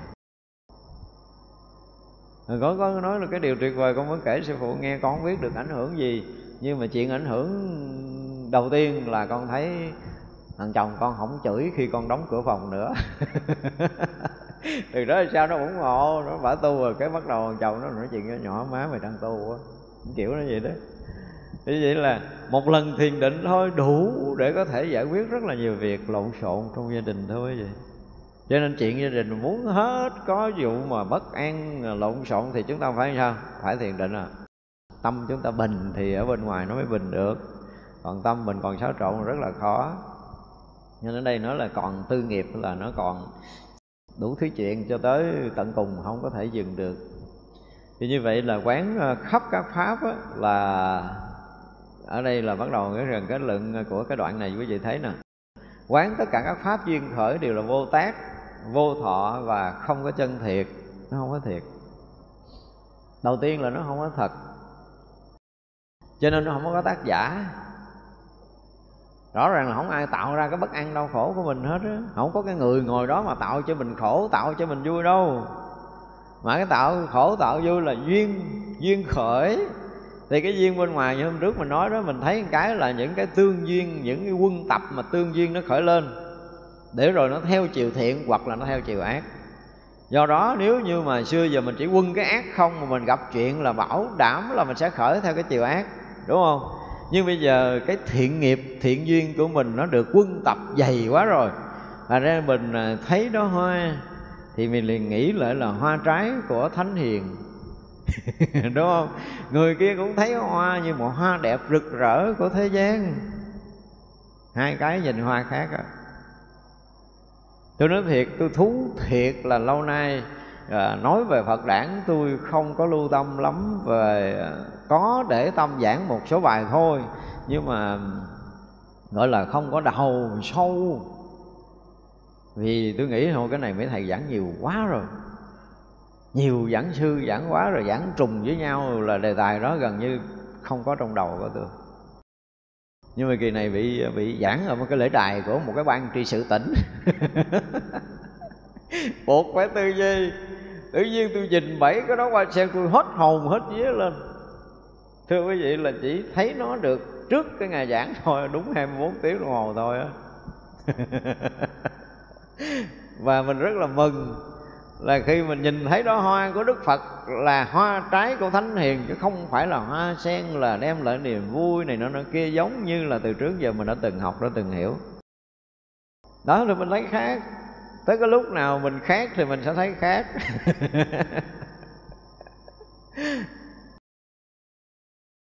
và tôi rất là hạnh phúc khi tôi nói được cái điều đó. Rất là hạnh phúc. Bởi vì ờ, lâu nay tôi cũng giảng nhiều bài về ờ, bảy đấu hoa sen rồi. Nhưng mà kỳ này nữa bị giảng cho lễ đại ban trị sự, không phải là giảng cho một cái hội chúng bình thường. Thành ra phải tư duy sâu. Là bắt đầu phải lật sách ra coi lại. Tôi lâu nay mình không có nói đúng như cái hiện tượng xảy ra của cái ngày Phật đản chính tôi tôi tự sám hối những cái bài giảng trước là tôi nói về bảy đó hoa sen nó không có đúng. Nhưng tới bây giờ, sau bao nhiêu chục năm công phu và nghiên tầm đạo lý thì ờ, tôi dám khẳng định cái điều tôi nói đúng. Với mình thôi nha, với mình thôi. Đúng hơn tất cả những cái thấy từ trước tới giờ của tôi. Chứ còn của mọi người thì ờ, mình không dám vàng nhưng mà về lý luận bảy đó hoa sen kỳ này mà tôi giảng tôi dám khẳng định rằng tôi rất là đúng với chính tôi.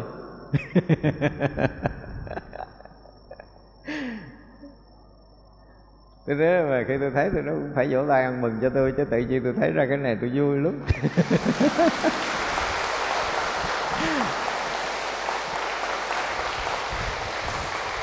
Ai uh, ai mà từ trước giờ nghe giảng Phật đảng này chắc là nghe nhiều rồi, đúng không? Nghe rất là nhiều. Nhưng mà hai cái điều tôi nói kỳ rồi. Phải dùng cái từ là nó có sự khác biệt hoàn toàn. Rất khác biệt. Và ờ, nó có một cái gì đó chín chắn hơn cho cái đời tu tập của tôi thôi, chứ tôi không dám nói đụng tới ai. Nhưng mà tôi nói là chín chắn thật sự. Trong cái nhìn về Phật đản của cái bài giảng vừa rồi là à, mình ờ, mình phải phải công nhận là mình ờ, có cái nhìn chính chắn hơn trong cả đời tu học của mình về cái hình tượng của Phật đản trong cái bài giảng kia rồi. Mặc dù là không được giảng tiếng rưỡi nếu mà được giảng tiếng rưỡi tôi nói nhiều hơn nữa nhưng bữa đó là bị thời gian nó cuốn tới còn cho tôi có 45 phút à. Nhưng mà cũng được nói cũng được hết ý mình muốn nói. Thì đây là một trong những cái mà phải nói là tôi có được cái chánh kiến. Đó. ở đâu mình cũng phải có chánh kiến, đúng không? Thì có được cái chánh kiến về bảy bước chân của Đức Phật.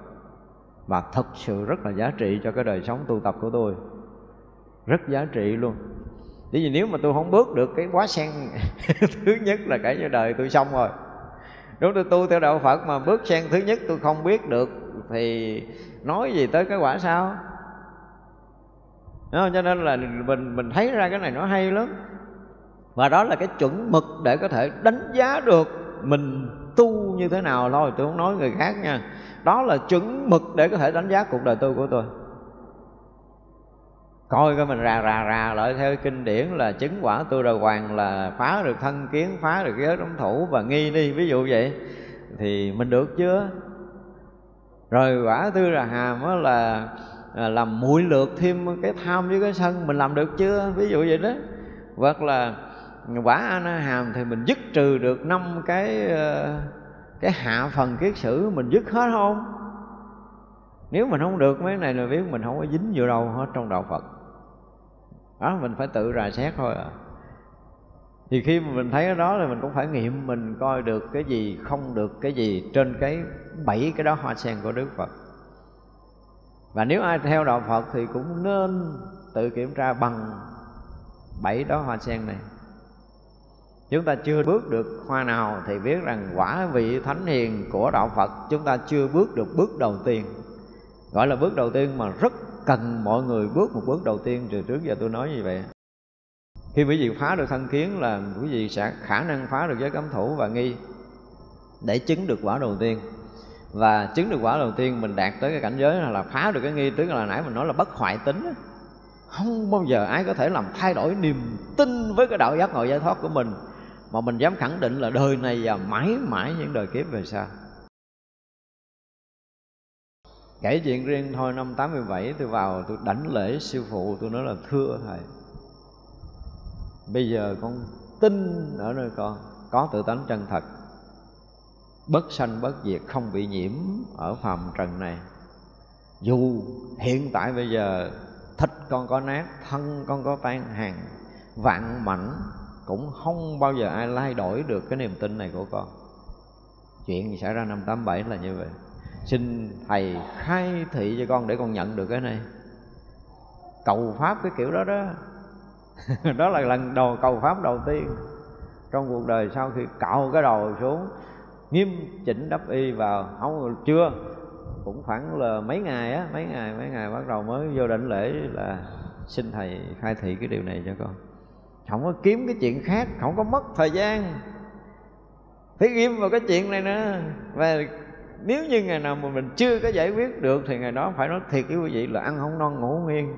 Và rõ ràng như tôi kể là nguyên cái mùa hè năm 87 là tôi không ăn cơm được, không ngủ được, cũng vì cái này cũng may là phật tổ hé hé cho thấy được miếng. Mới ăn mới ngủ trở lại chứ thôi là tiêu đời rồi. Tôi dám chắc nếu như trong năm 87 mà không xảy ra chuyện là bây giờ tôi không thể còn sống được, không thể sống hết năm 87 thưa quý vị. Với cái tình trạng sức khỏe, nó cạn kiệt là gì? Không thể ăn được. Mà không ăn được trong cái uất ức. Chứ không phải không ăn được trong cái kiểu mà như là nhai cơm gạo lứt cho tới năng lượng đầy, cả ngày không ăn thì cái chuyện đó là nó sướng lắm rồi. Mình không nói nhưng mà nuốt thì nuốt không có trôi. Cơm trắng mà chan nước mắt rồi nhai nhai rồi nuốt trọng cho nó lẹ, cho mày qua cái miệng đi. Rồi cái chuyện đó là cái chuyện gì? Cái đó là ở đâu? Cái đó muốn ngộ phải làm sao? Chứ còn mình không còn cái chuyện khác để sống nữa. Mà như vậy thì đúng muỗng cơm cúng, mà cơm trắng nữa. Mà không có thức ăn mà chan nước mắt nữa, bổ lắm. Cho tới quý vị biết không? Đến những cái ngày tháng mà gọi là gần cuối của mùa hè năm tám bảy là phải nói thiệt là cái gì nặng chừng khoảng nửa kg là khả năng tôi cầm hết nổi rồi. Và và cũng không còn đi đi đi đứng bình thường, đi nó nó cảm giác là kiệt hết mọi thứ rồi. Vì cũng nói cái lời nguyền là nếu trong vòng 3 năm không phá vỡ này là một là chết, hai là ra đời. Và thứ ba là biệt tích không ai có được kiếm mình ở đâu trong cuộc đời này nữa. Không chết thì cũng phải đi vô rừng, đi vô đâu để không ai biết tới mình nhưng mà ngày mà vô chuẩn bị mà công quả sức gia trong chùa là có lập cái lời nguyện đó. Cho nên trong vòng 3 năm là mình phải phá cho ra, chứ không phá ra là kể như xong rồi. Kiểu nó vậy đó. Thì từ năm 85 tới 87 cũng hai, ba năm chứ đâu có ít. Thành ra là chúng ta thấy là khi mà mình á, mình quyết để phá vỡ mọi thứ bằng tất cả những cái sinh mạng của mình thật sự, chứ không phải nhập đạo là chuyện chơi, không phải chuyện kiến thức, không phải chuyện tranh luận, thưa quý vị ba cái chuyện tranh luận kiến thức nó không có dính gì cái chuyện đạo giác ngộ giải thoát đâu, quý vị đừng có mất thời gian. Mà phải nói tôi dùng cái từ từ lâu tới bây giờ tôi nói là phải cược được cái mạng của mình cho đạo. Phải sẵn sàng dục nó xuống để nhập đạo chứ không có cái chuyện lương ương được, không có chuyện lương ương được. Và chúng ta phải tìm đủ mọi cách để chúng ta nhập đạo bằng đủ mọi cái cái cái khả năng vốn có của chính mình trong đời này kiểu gì cũng được, mỗi người mỗi cách riêng, không có giống nhau đâu. Mặc dù thầy có kinh nghiệm gì gì mà dạy mình đi nữa, tới hồi mình nhập đạo cũng không có giống thầy. Khó lắm. Hiếm lắm cái chuyện đó trên đời. Nhưng mà cái giống là gì? Cái giống là khi mà mình theo đạo phật, mình tin được đạo phật là cái đạo giác ngộ giải thoát, đủ có thể cứu thoát khỏi cái lầm mê sanh tử, khỏi khổ đau muôn vạn kiếp của mình. Và mình quyết lòng mình đạt được như vậy và không còn có đường thối lui cho tâm của mình nữa. Chứ nếu như mình chết mà tôi thành con sâu đi nữa Tôi cũng tu giác ngộ giải thoát nữa Chứ đừng nói tôi thành người trở lại. Cái kiểu của mình nó phải quyết liệt vậy mới được. Tôi nói là những cái sai lầm trong trong nhiều đời nhiều kiếp sanh tử của tôi mà phải kết quả đời sau tôi không còn làm người thì, thì cái tâm giác ngộ giải thoát tôi đố ai có thể bẻ gãy.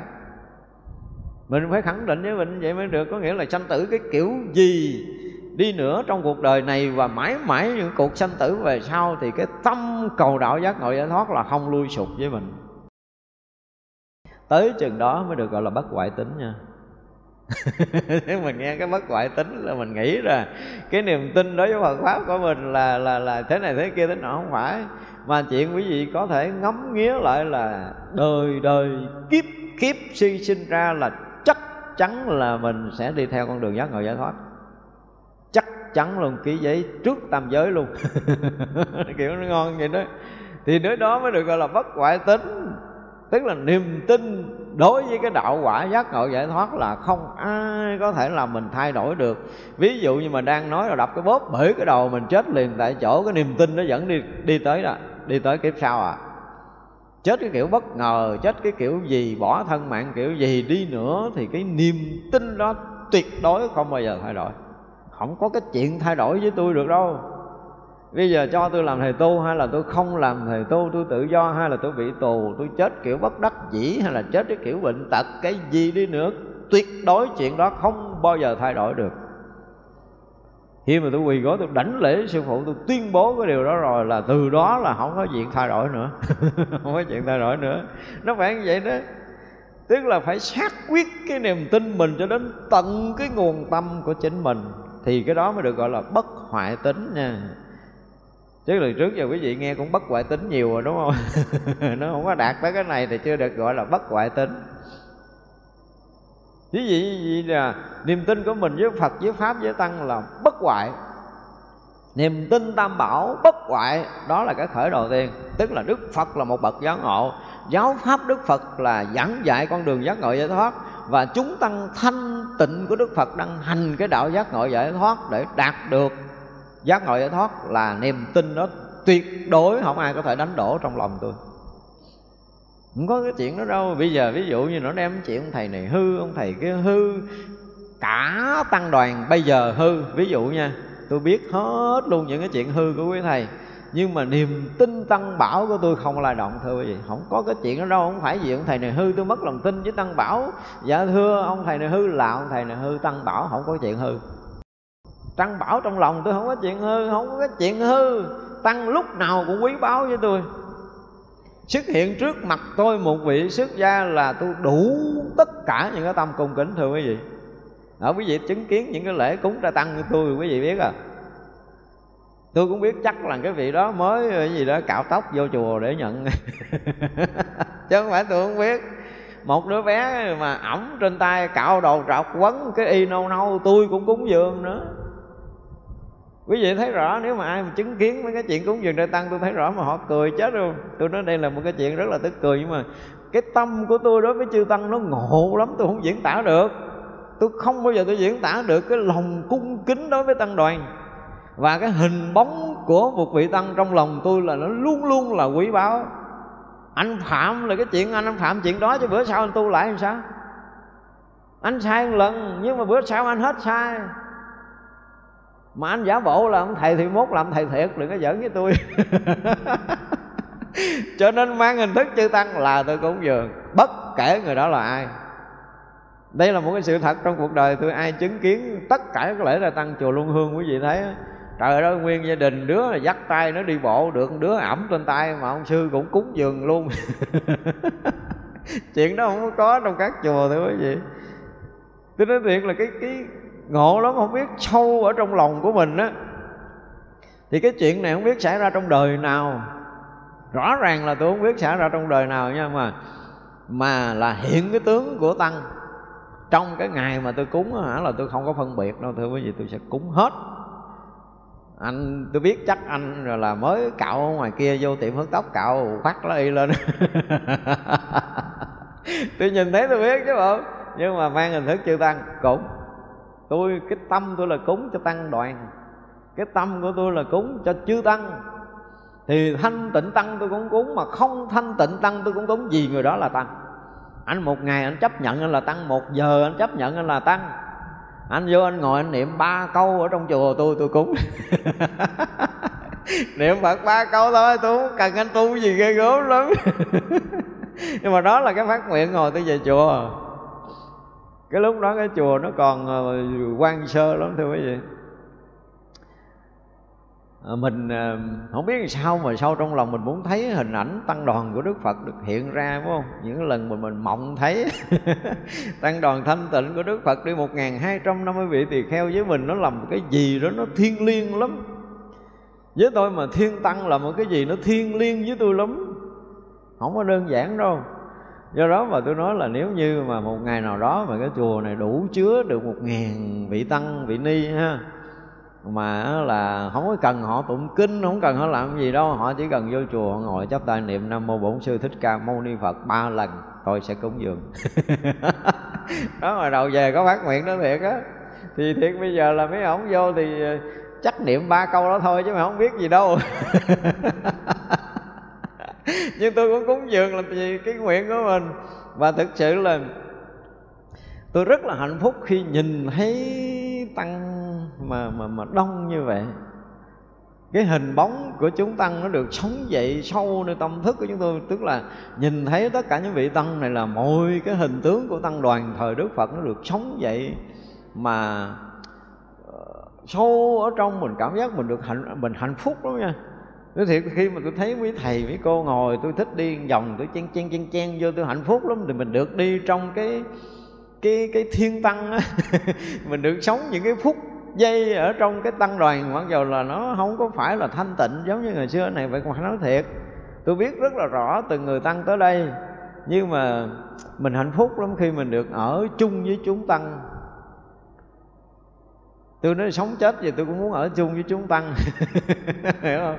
À, ra mà tăng càng đông đi càng đông với trước mặt mình là một cái niềm hạnh phúc lớn lắm chứ nó có cái khác với so với mấy thầy khác. Mấy thầy khác phải có quyền trù à, mà không có mời, không dán tên là ngồi trật ghế là đuổi ra. Tôi không có chuyện này, tôi không có làm chuyện đó được. Trong đời tôi làm chuyện đó không được. Một đứa bé nó quấn cái y mà nó ẩm trên nách đó. Tôi có quay phim trong má thì nó cái chuyện vui ghê rồi nó đồn tới mức độ mà mấy đứa nhỏ ẩm trên tay á, rồi cạo cái đầu nó quấn cái y nâu nâu mặc quần tà lõn, quần quần tây. Đương nhiên là ra khỏi đây là nó dẹp cái ly đó. Nhưng mà mình vẫn muốn cúng dường. Một cái điều rất là kỳ của tôi là tôi không có từ chối cái chuyện đó trong cái, mấy cái đại lễ là dứt khoát tôi không bao giờ là cúng ông này không cúng ông này, tại vì ông này không thật tu, ông này không phải là người tu. Tôi không bao giờ dò xét điều này. Và tuyệt đối trong lòng tôi không có khởi chuyện đó. Anh muốn ờ, mang hình bóng của tăng một giờ. Mà ngay cái phút tôi cúng dường, tôi cũng cúng. Mà anh từ hồi vô chùa từ sáng tới trưa là được 4 tiếng lần. Và anh còn ngồi, anh niệm được ba câu nữa. Niệm phật được ba câu nữa là được rồi đó, cúng dường được rồi đó. Với tôi là nó như vậy đó thành ra mình nói tới cái bất hoại tính hiểu không? Quý vị nên biết cái bất hoại tính là đối với tam bảo là gần như tuyệt đối của cái tuyệt đối. Tôi không bao giờ có một cái ý niệm là à, tăng giả tăng thật. Không có. Ổng bây giờ ổng tu chơi nhưng mà mốt ông tu thiệt. Tôi có bao giờ tôi suy nghĩ tôi đánh giá vị tăng này là là thuộc cái dạng hư đốn này nọ kia? Không có chuyện đó có một cái điều là ở cái môi trường này, cái cách tu đó là nó không có hợp. Cái cách hành đạo của vị thầy đó, vị sư cô đó không hợp. Là tôi mời ra khỏi chùa này thôi. Còn đi tao tu chuyện của quý thầy, tôi không bao giờ tôi bình phẩm, tôi đánh giá, tôi thông báo là vị này bị cái này, cái kia, cho nên tôi đuổi này nọ kia là không có. Tôi không bao giờ tôi lên tiếng cái chuyện đó. Mặc dù là họ ở đây họ quậy cái kiểu gì, nhưng mà rời đây là chuyện họ tự chịu trách nhiệm đời sống của họ rồi, tôi đâu có dính vô nữa đâu giờ nó nói tốt nói xấu người ta làm chi? Không có chuyện đó. Mặc dù tôi biết ổng tới tổng đồng tộc cái chuyện gì luôn. Nhưng mà chuyện đó nhân quả không chịu chứ tôi có chịu đâu.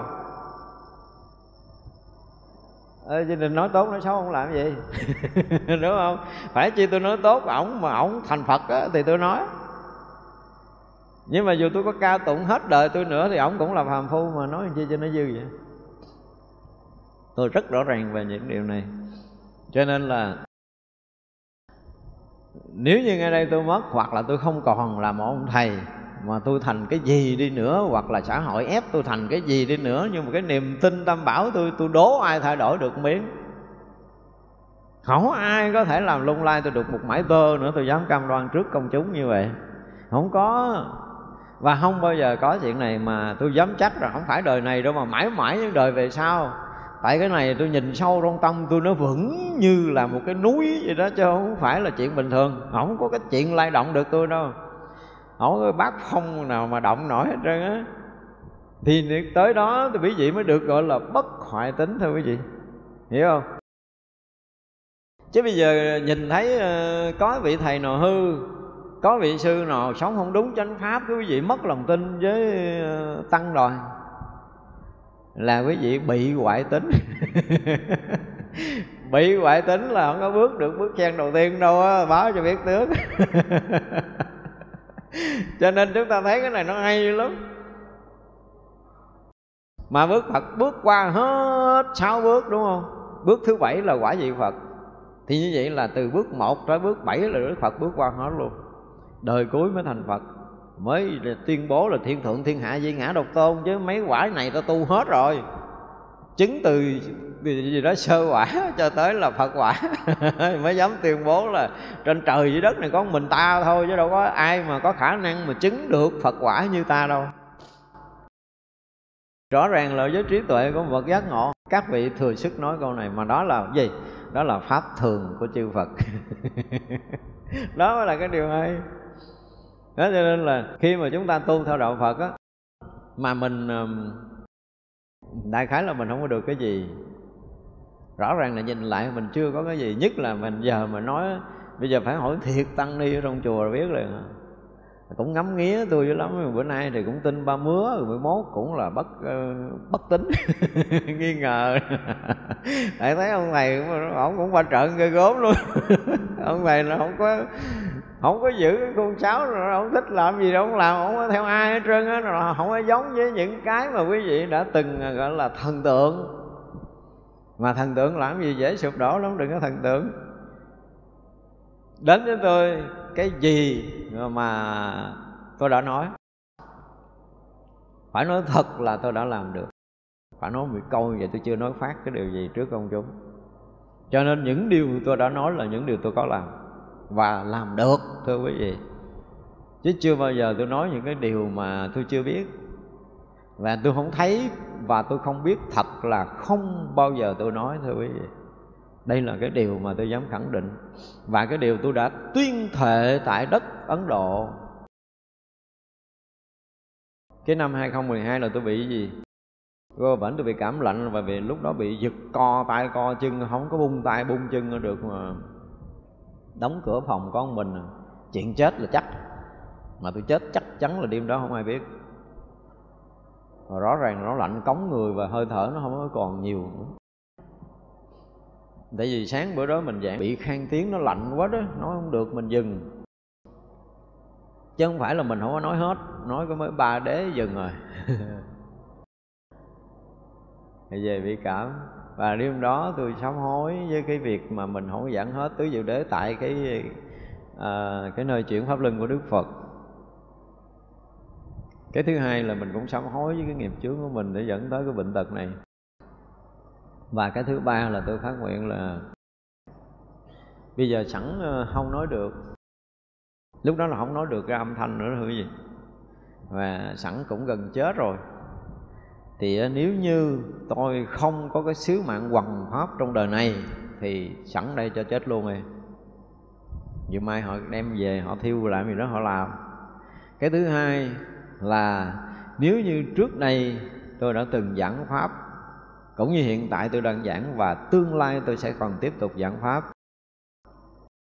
Ở cái đất Phật linh thiêng, chư đại Bồ Tát, chư vị thánh hiền đều thấy rõ. Nếu như tôi nói sai chánh pháp, thì cho tôi câm luôn đi. Nếu không giết chết tôi thì cho tôi câm. Đừng có nói chuyện lại được. Để tôi về tôi biết là tôi còn ngu, tôi phải tu. Còn nếu như những lời tôi tôi nói mà phù hợp với chánh pháp rồi phải cho tôi nói chuyện lại được thì ngày mai vào tịnh xá kỳ viên, tôi sẽ nói lại tứ diệu đế cho phật tử và tăng ni trong đoàn nghe.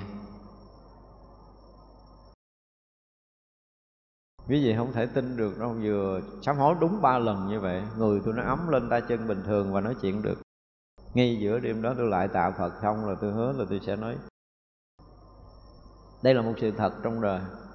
Mình tin tin lúc nào phật bồ tát cũng có mặt bên phải nở đầy trong không gian vũ trụ này, phật bồ tát lúc nào cũng thấy rõ từng hành động, từng cử chỉ, từng việc làm của mình.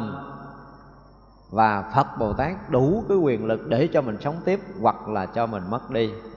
Tôi rất tin điều này, không bao giờ tôi không tin. Thành ra là mình chỉ cần một suy nghĩ sai, phật bồ tát biết, chứ đừng nói là mình nói sai, mình hành động sai đó là niềm tin bất hoại đối với tôi đó là niềm tin bất hoại. Và mọi chuyện xảy ra, tôi nói là đương nhiên là phật bồ tát biết rõ quá về nghiệp tập, nghiệp báo của mình, về công phu tu tập, về trình độ tu chứng gì gì của mình là phật tổ biết rồi. Cho nên tôi tin chắc rằng là rõ ràng là sẽ có sự yên ăn bài cho cái sự nghiệp hoằng pháp của mình. Nhờ ra mọi việc á mình phải dùng cái từ là mình vẫn tiếp tục thuận duyên để mình làm cho mình không có gọi là cưỡng cầu với tất cả mọi thứ. Đó cho nên là nói gì thì nói mà đối với đức phật đối với chư phật đối với chư vị thánh đó, bồ tát các vị thánh hiền á thì dù ai có làm cái gì ai có nói cái gì đi nữa cũng không thay đổi được niềm tin này à tuyệt đối tuyệt đối là vĩnh viễn từ đây cho mãi mãi hằng bao nhiêu kiếp về sau cho tới ngày tôi thành phật. Là trong cái đoạn giữa đó là cái niềm tin này chưa bao giờ thay đổi miếng nào với tôi luôn. Không ai có thể làm thay đổi được.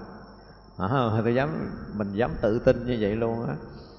Không khó lắm ai làm thay đổi được là tôi thấy từng hành động từng cử chỉ từng việc làm từng cái suy nghĩ rất nhỏ của tôi với cái trí tuệ giác ngộ của chư phật mười phương luôn luôn rõ biết. Biết hết đó, đừng có nói là không biết là chúng ta sai lầm thưa là biết hết. Cho nên mình làm cái gì đúng cái gì sai cái gì nó hay cái gì nó dở là chư phật tự biết. Mà không phải dùng cái từ là phán xét mình đâu. Với cái tâm từ của chư Phật chư Đại Bồ Tát chư vị Thánh Hiền đủ để có thể là gì? Giúp đỡ mình tiến hóa. Cho nên là mình dở bị cái nghiệp gì đó mà mình sai lầm, nhưng mà cái tâm, kính tinh tam bảo, cái tâm cầu giác ngộ giải thoát của mình mà nó không có có bị lung lai á, thì chắc chắn một trăm phần trăm là Phật và Bồ Tát sẽ giúp chúng ta tiến qua và chưa bao giờ tôi thay đổi niềm tin này, chưa bao giờ mặc giờ tôi ngủ nửa đêm, tôi biết là tôi sai, tôi ngủ đi nữa nha, nhưng mà tôi biết chắc rằng phật bồ tát cũng đang chờ đợi để giúp mình tiến hóa. Gọi là cái lực chuyển hóa của chư phật, chư bồ tát đó, chưa bao giờ dừng với bất kỳ chúng sanh nào. Nếu mà mình thật sự mà gọi là tắm mình ở trong chánh pháp của chư phật, mình đặt mình trọn vẹn trong ngôi nhà tam bảo, thì mọi chuyện quý vị tin đi là sẽ có phật bồ tát giúp chúng ta để tiến bộ niềm tin đó cũng không hoại nữa. Đó, chúng ta phải rà lại, gọi là bất tính đối với tam bảo là bất hoại tính đối với tam bảo. Và chúng ta phải rà lại hết trong tâm của mình, đối với phật mình như thế nào, đối với pháp mình như thế nào, đối với tăng mình như thế nào. Và trong cuộc đời này niềm tin nó như thế nào, và chúng ta có khẳng định rồi mãi mãi niềm tin này còn hoài không? Được như vậy mới được gọi là bất hoại tính nhưng chứ không phải là chúng ta tin là tại vì thấy mọi chuyện nó tốt, mình gặp những người tốt, ai ông tăng cũng tu rương mẫu rồi sống trong đời sống thanh tịnh rồi mình mới tin tam bảo. Cái gặp ông thầy tu lè xè, cái mình không có tin. Dạ không phải đâu, không phải. Có chừng mấy ông bồ tát hiện tướng sai lầm. Dạ, mình sanh tâm bất mãn rồi, chừng mình mất cái duyên để học đạo, sau này với vị này thôi, chứ tôi không nói mất phước nha. Mất duyên mình bất mãn với ông đó, sau này ông lỡ thành phật trước mình, cái mình không có học được, tại vì đó mình bất mãn ổng. Mình không có duyên để được học.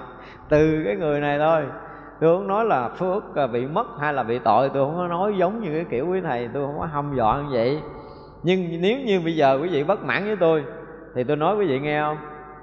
Bất mãn đâu còn nghe nữa, là mất cái cơ duyên để được học những cái gì từ tôi nói ra, đúng không? Thì quý vị bất mãn với một người nào đó mới mốt cũng vậy á họ có hay cái nào, ôi, sợ ơi hay gì đâu, đó tôi thấy ổng vậy vậy mà hay cái gì? Với tôi không có điều này. Anh rơ tay, rửa tay là tay anh sạch. Với tôi là như vậy đó. Bây giờ anh phạm lòng lỗi, anh thấy lòng lỗi anh sám hối. Là coi như xong anh có thể một ngày này anh sai, anh không nhận ra, ngày mai anh sẽ nhận ra, hoặc là một ngày nào đó anh sẽ nhận ra cái lỗi của mình. Và trên lộ trình tiến hóa của mình là mình sẽ nhận ra sự sai lầm đó là điều chắc chắn chứ không ai mà sai hoài. Sai hoài thì không có đức phật thành phật đâu. Hồi chưa thành phật thì ông cũng lung tung trong sanh tử giống như mình. Không phải nói như vậy chứ. Cho nên khi mà ông nhận được sai lầm mới tu tập tiến hóa mới thành phật. Và tất cả chư phật đều như vậy. Và chúng ta cũng vậy thôi. Chúng ta đang trên lộ trình chiến hóa. Chúng ta đang trên con đường tìm cầu đạo lý, giác ngộ, giải thoát là chúng ta tiến xa lắm rồi đó, thưa quý vị nói gì thì nói, nếu mà giờ trong cái pháp hội chúng ta hoặc là ai trong cuộc đời này mà có cái ý hướng muốn giác ngộ giải thoát thôi là cái gì đó tiến xa lắm lắm lắm luôn rồi đó.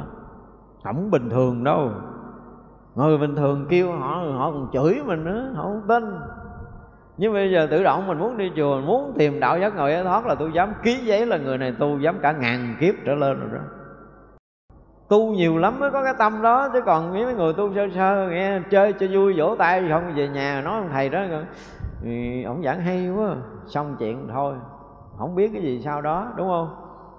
Nhưng mà bây giờ mình quyết muốn nghe, muốn tìm hiểu được chánh pháp, muốn tìm hiểu chân lý, muốn tu giác ngộ giải thoát là quá nhiều kiếp mình đã đi theo phật rồi. Nhưng niềm tin đó nó chưa đến mức độ bất hoại nha, nhưng mà niềm tin đối với đạo lý giác ngộ giải thoát mà nó được sanh khởi nơi lòng mình và tự động mình muốn giác ngộ giải thoát thôi. Không có ai xúi dục mình hết. Thì biết rằng là mình đã gieo trồng cái thiện căn phước đức lớn lắm. Đời này mới khởi cái đó lên được. Chứ hả, bây giờ không tin đi quý vị ra đường kiếm một nào đó suối nó đi. Kêu nó tin giống như mình đi. Không có đâu. Không thể được. Đó là điều để chúng ta phải biết về cái niềm tin đối với tam bảo ở một cái ngưỡng nào là mình đã có gieo căn lành nhiều hay là ít? Và làm sao đó, chúng tôi cũng mong rằng là uh, chúng ta chưa có đạt được cái gì hết á. Nhưng mà chúng tôi rất kỳ vọng có một ai trong chúng hội mình tăng hoặc là ni phải đạt tới cái trình độ gọi là cái gì? Niềm tin bất hoại. Bước giùm tôi là bước sen đầu tiên đi và như vậy là phải bước sau bước nhẹ nhàng nhưng mà chưa có leo lên được. Cái đó sen đầu tiên là mệt lắm, đi đồng vòng hoài luôn. Suốt kiếp này tới kiếp khác rất là mong tất cả chúng ta đủ cái thiện căn, phước đức nhân duyên để chúng ta bước lên một đóa hoa sen đầu tiên mà Đức Phật đã bước để rồi mình có đầy đủ trí tuệ để mình cứu, mình thoát khỏi cái mê lầm trong sanh tử luân hồi và sẽ giúp mọi người thoát khỏi cái lòng mê sanh tử để đền ơn chư Phật. Hồi buổi sáng nay chúng ta học ở đây chúng ta nghỉ, ha. Cái gì à, chắp tay hồi hướng chúng sanh à,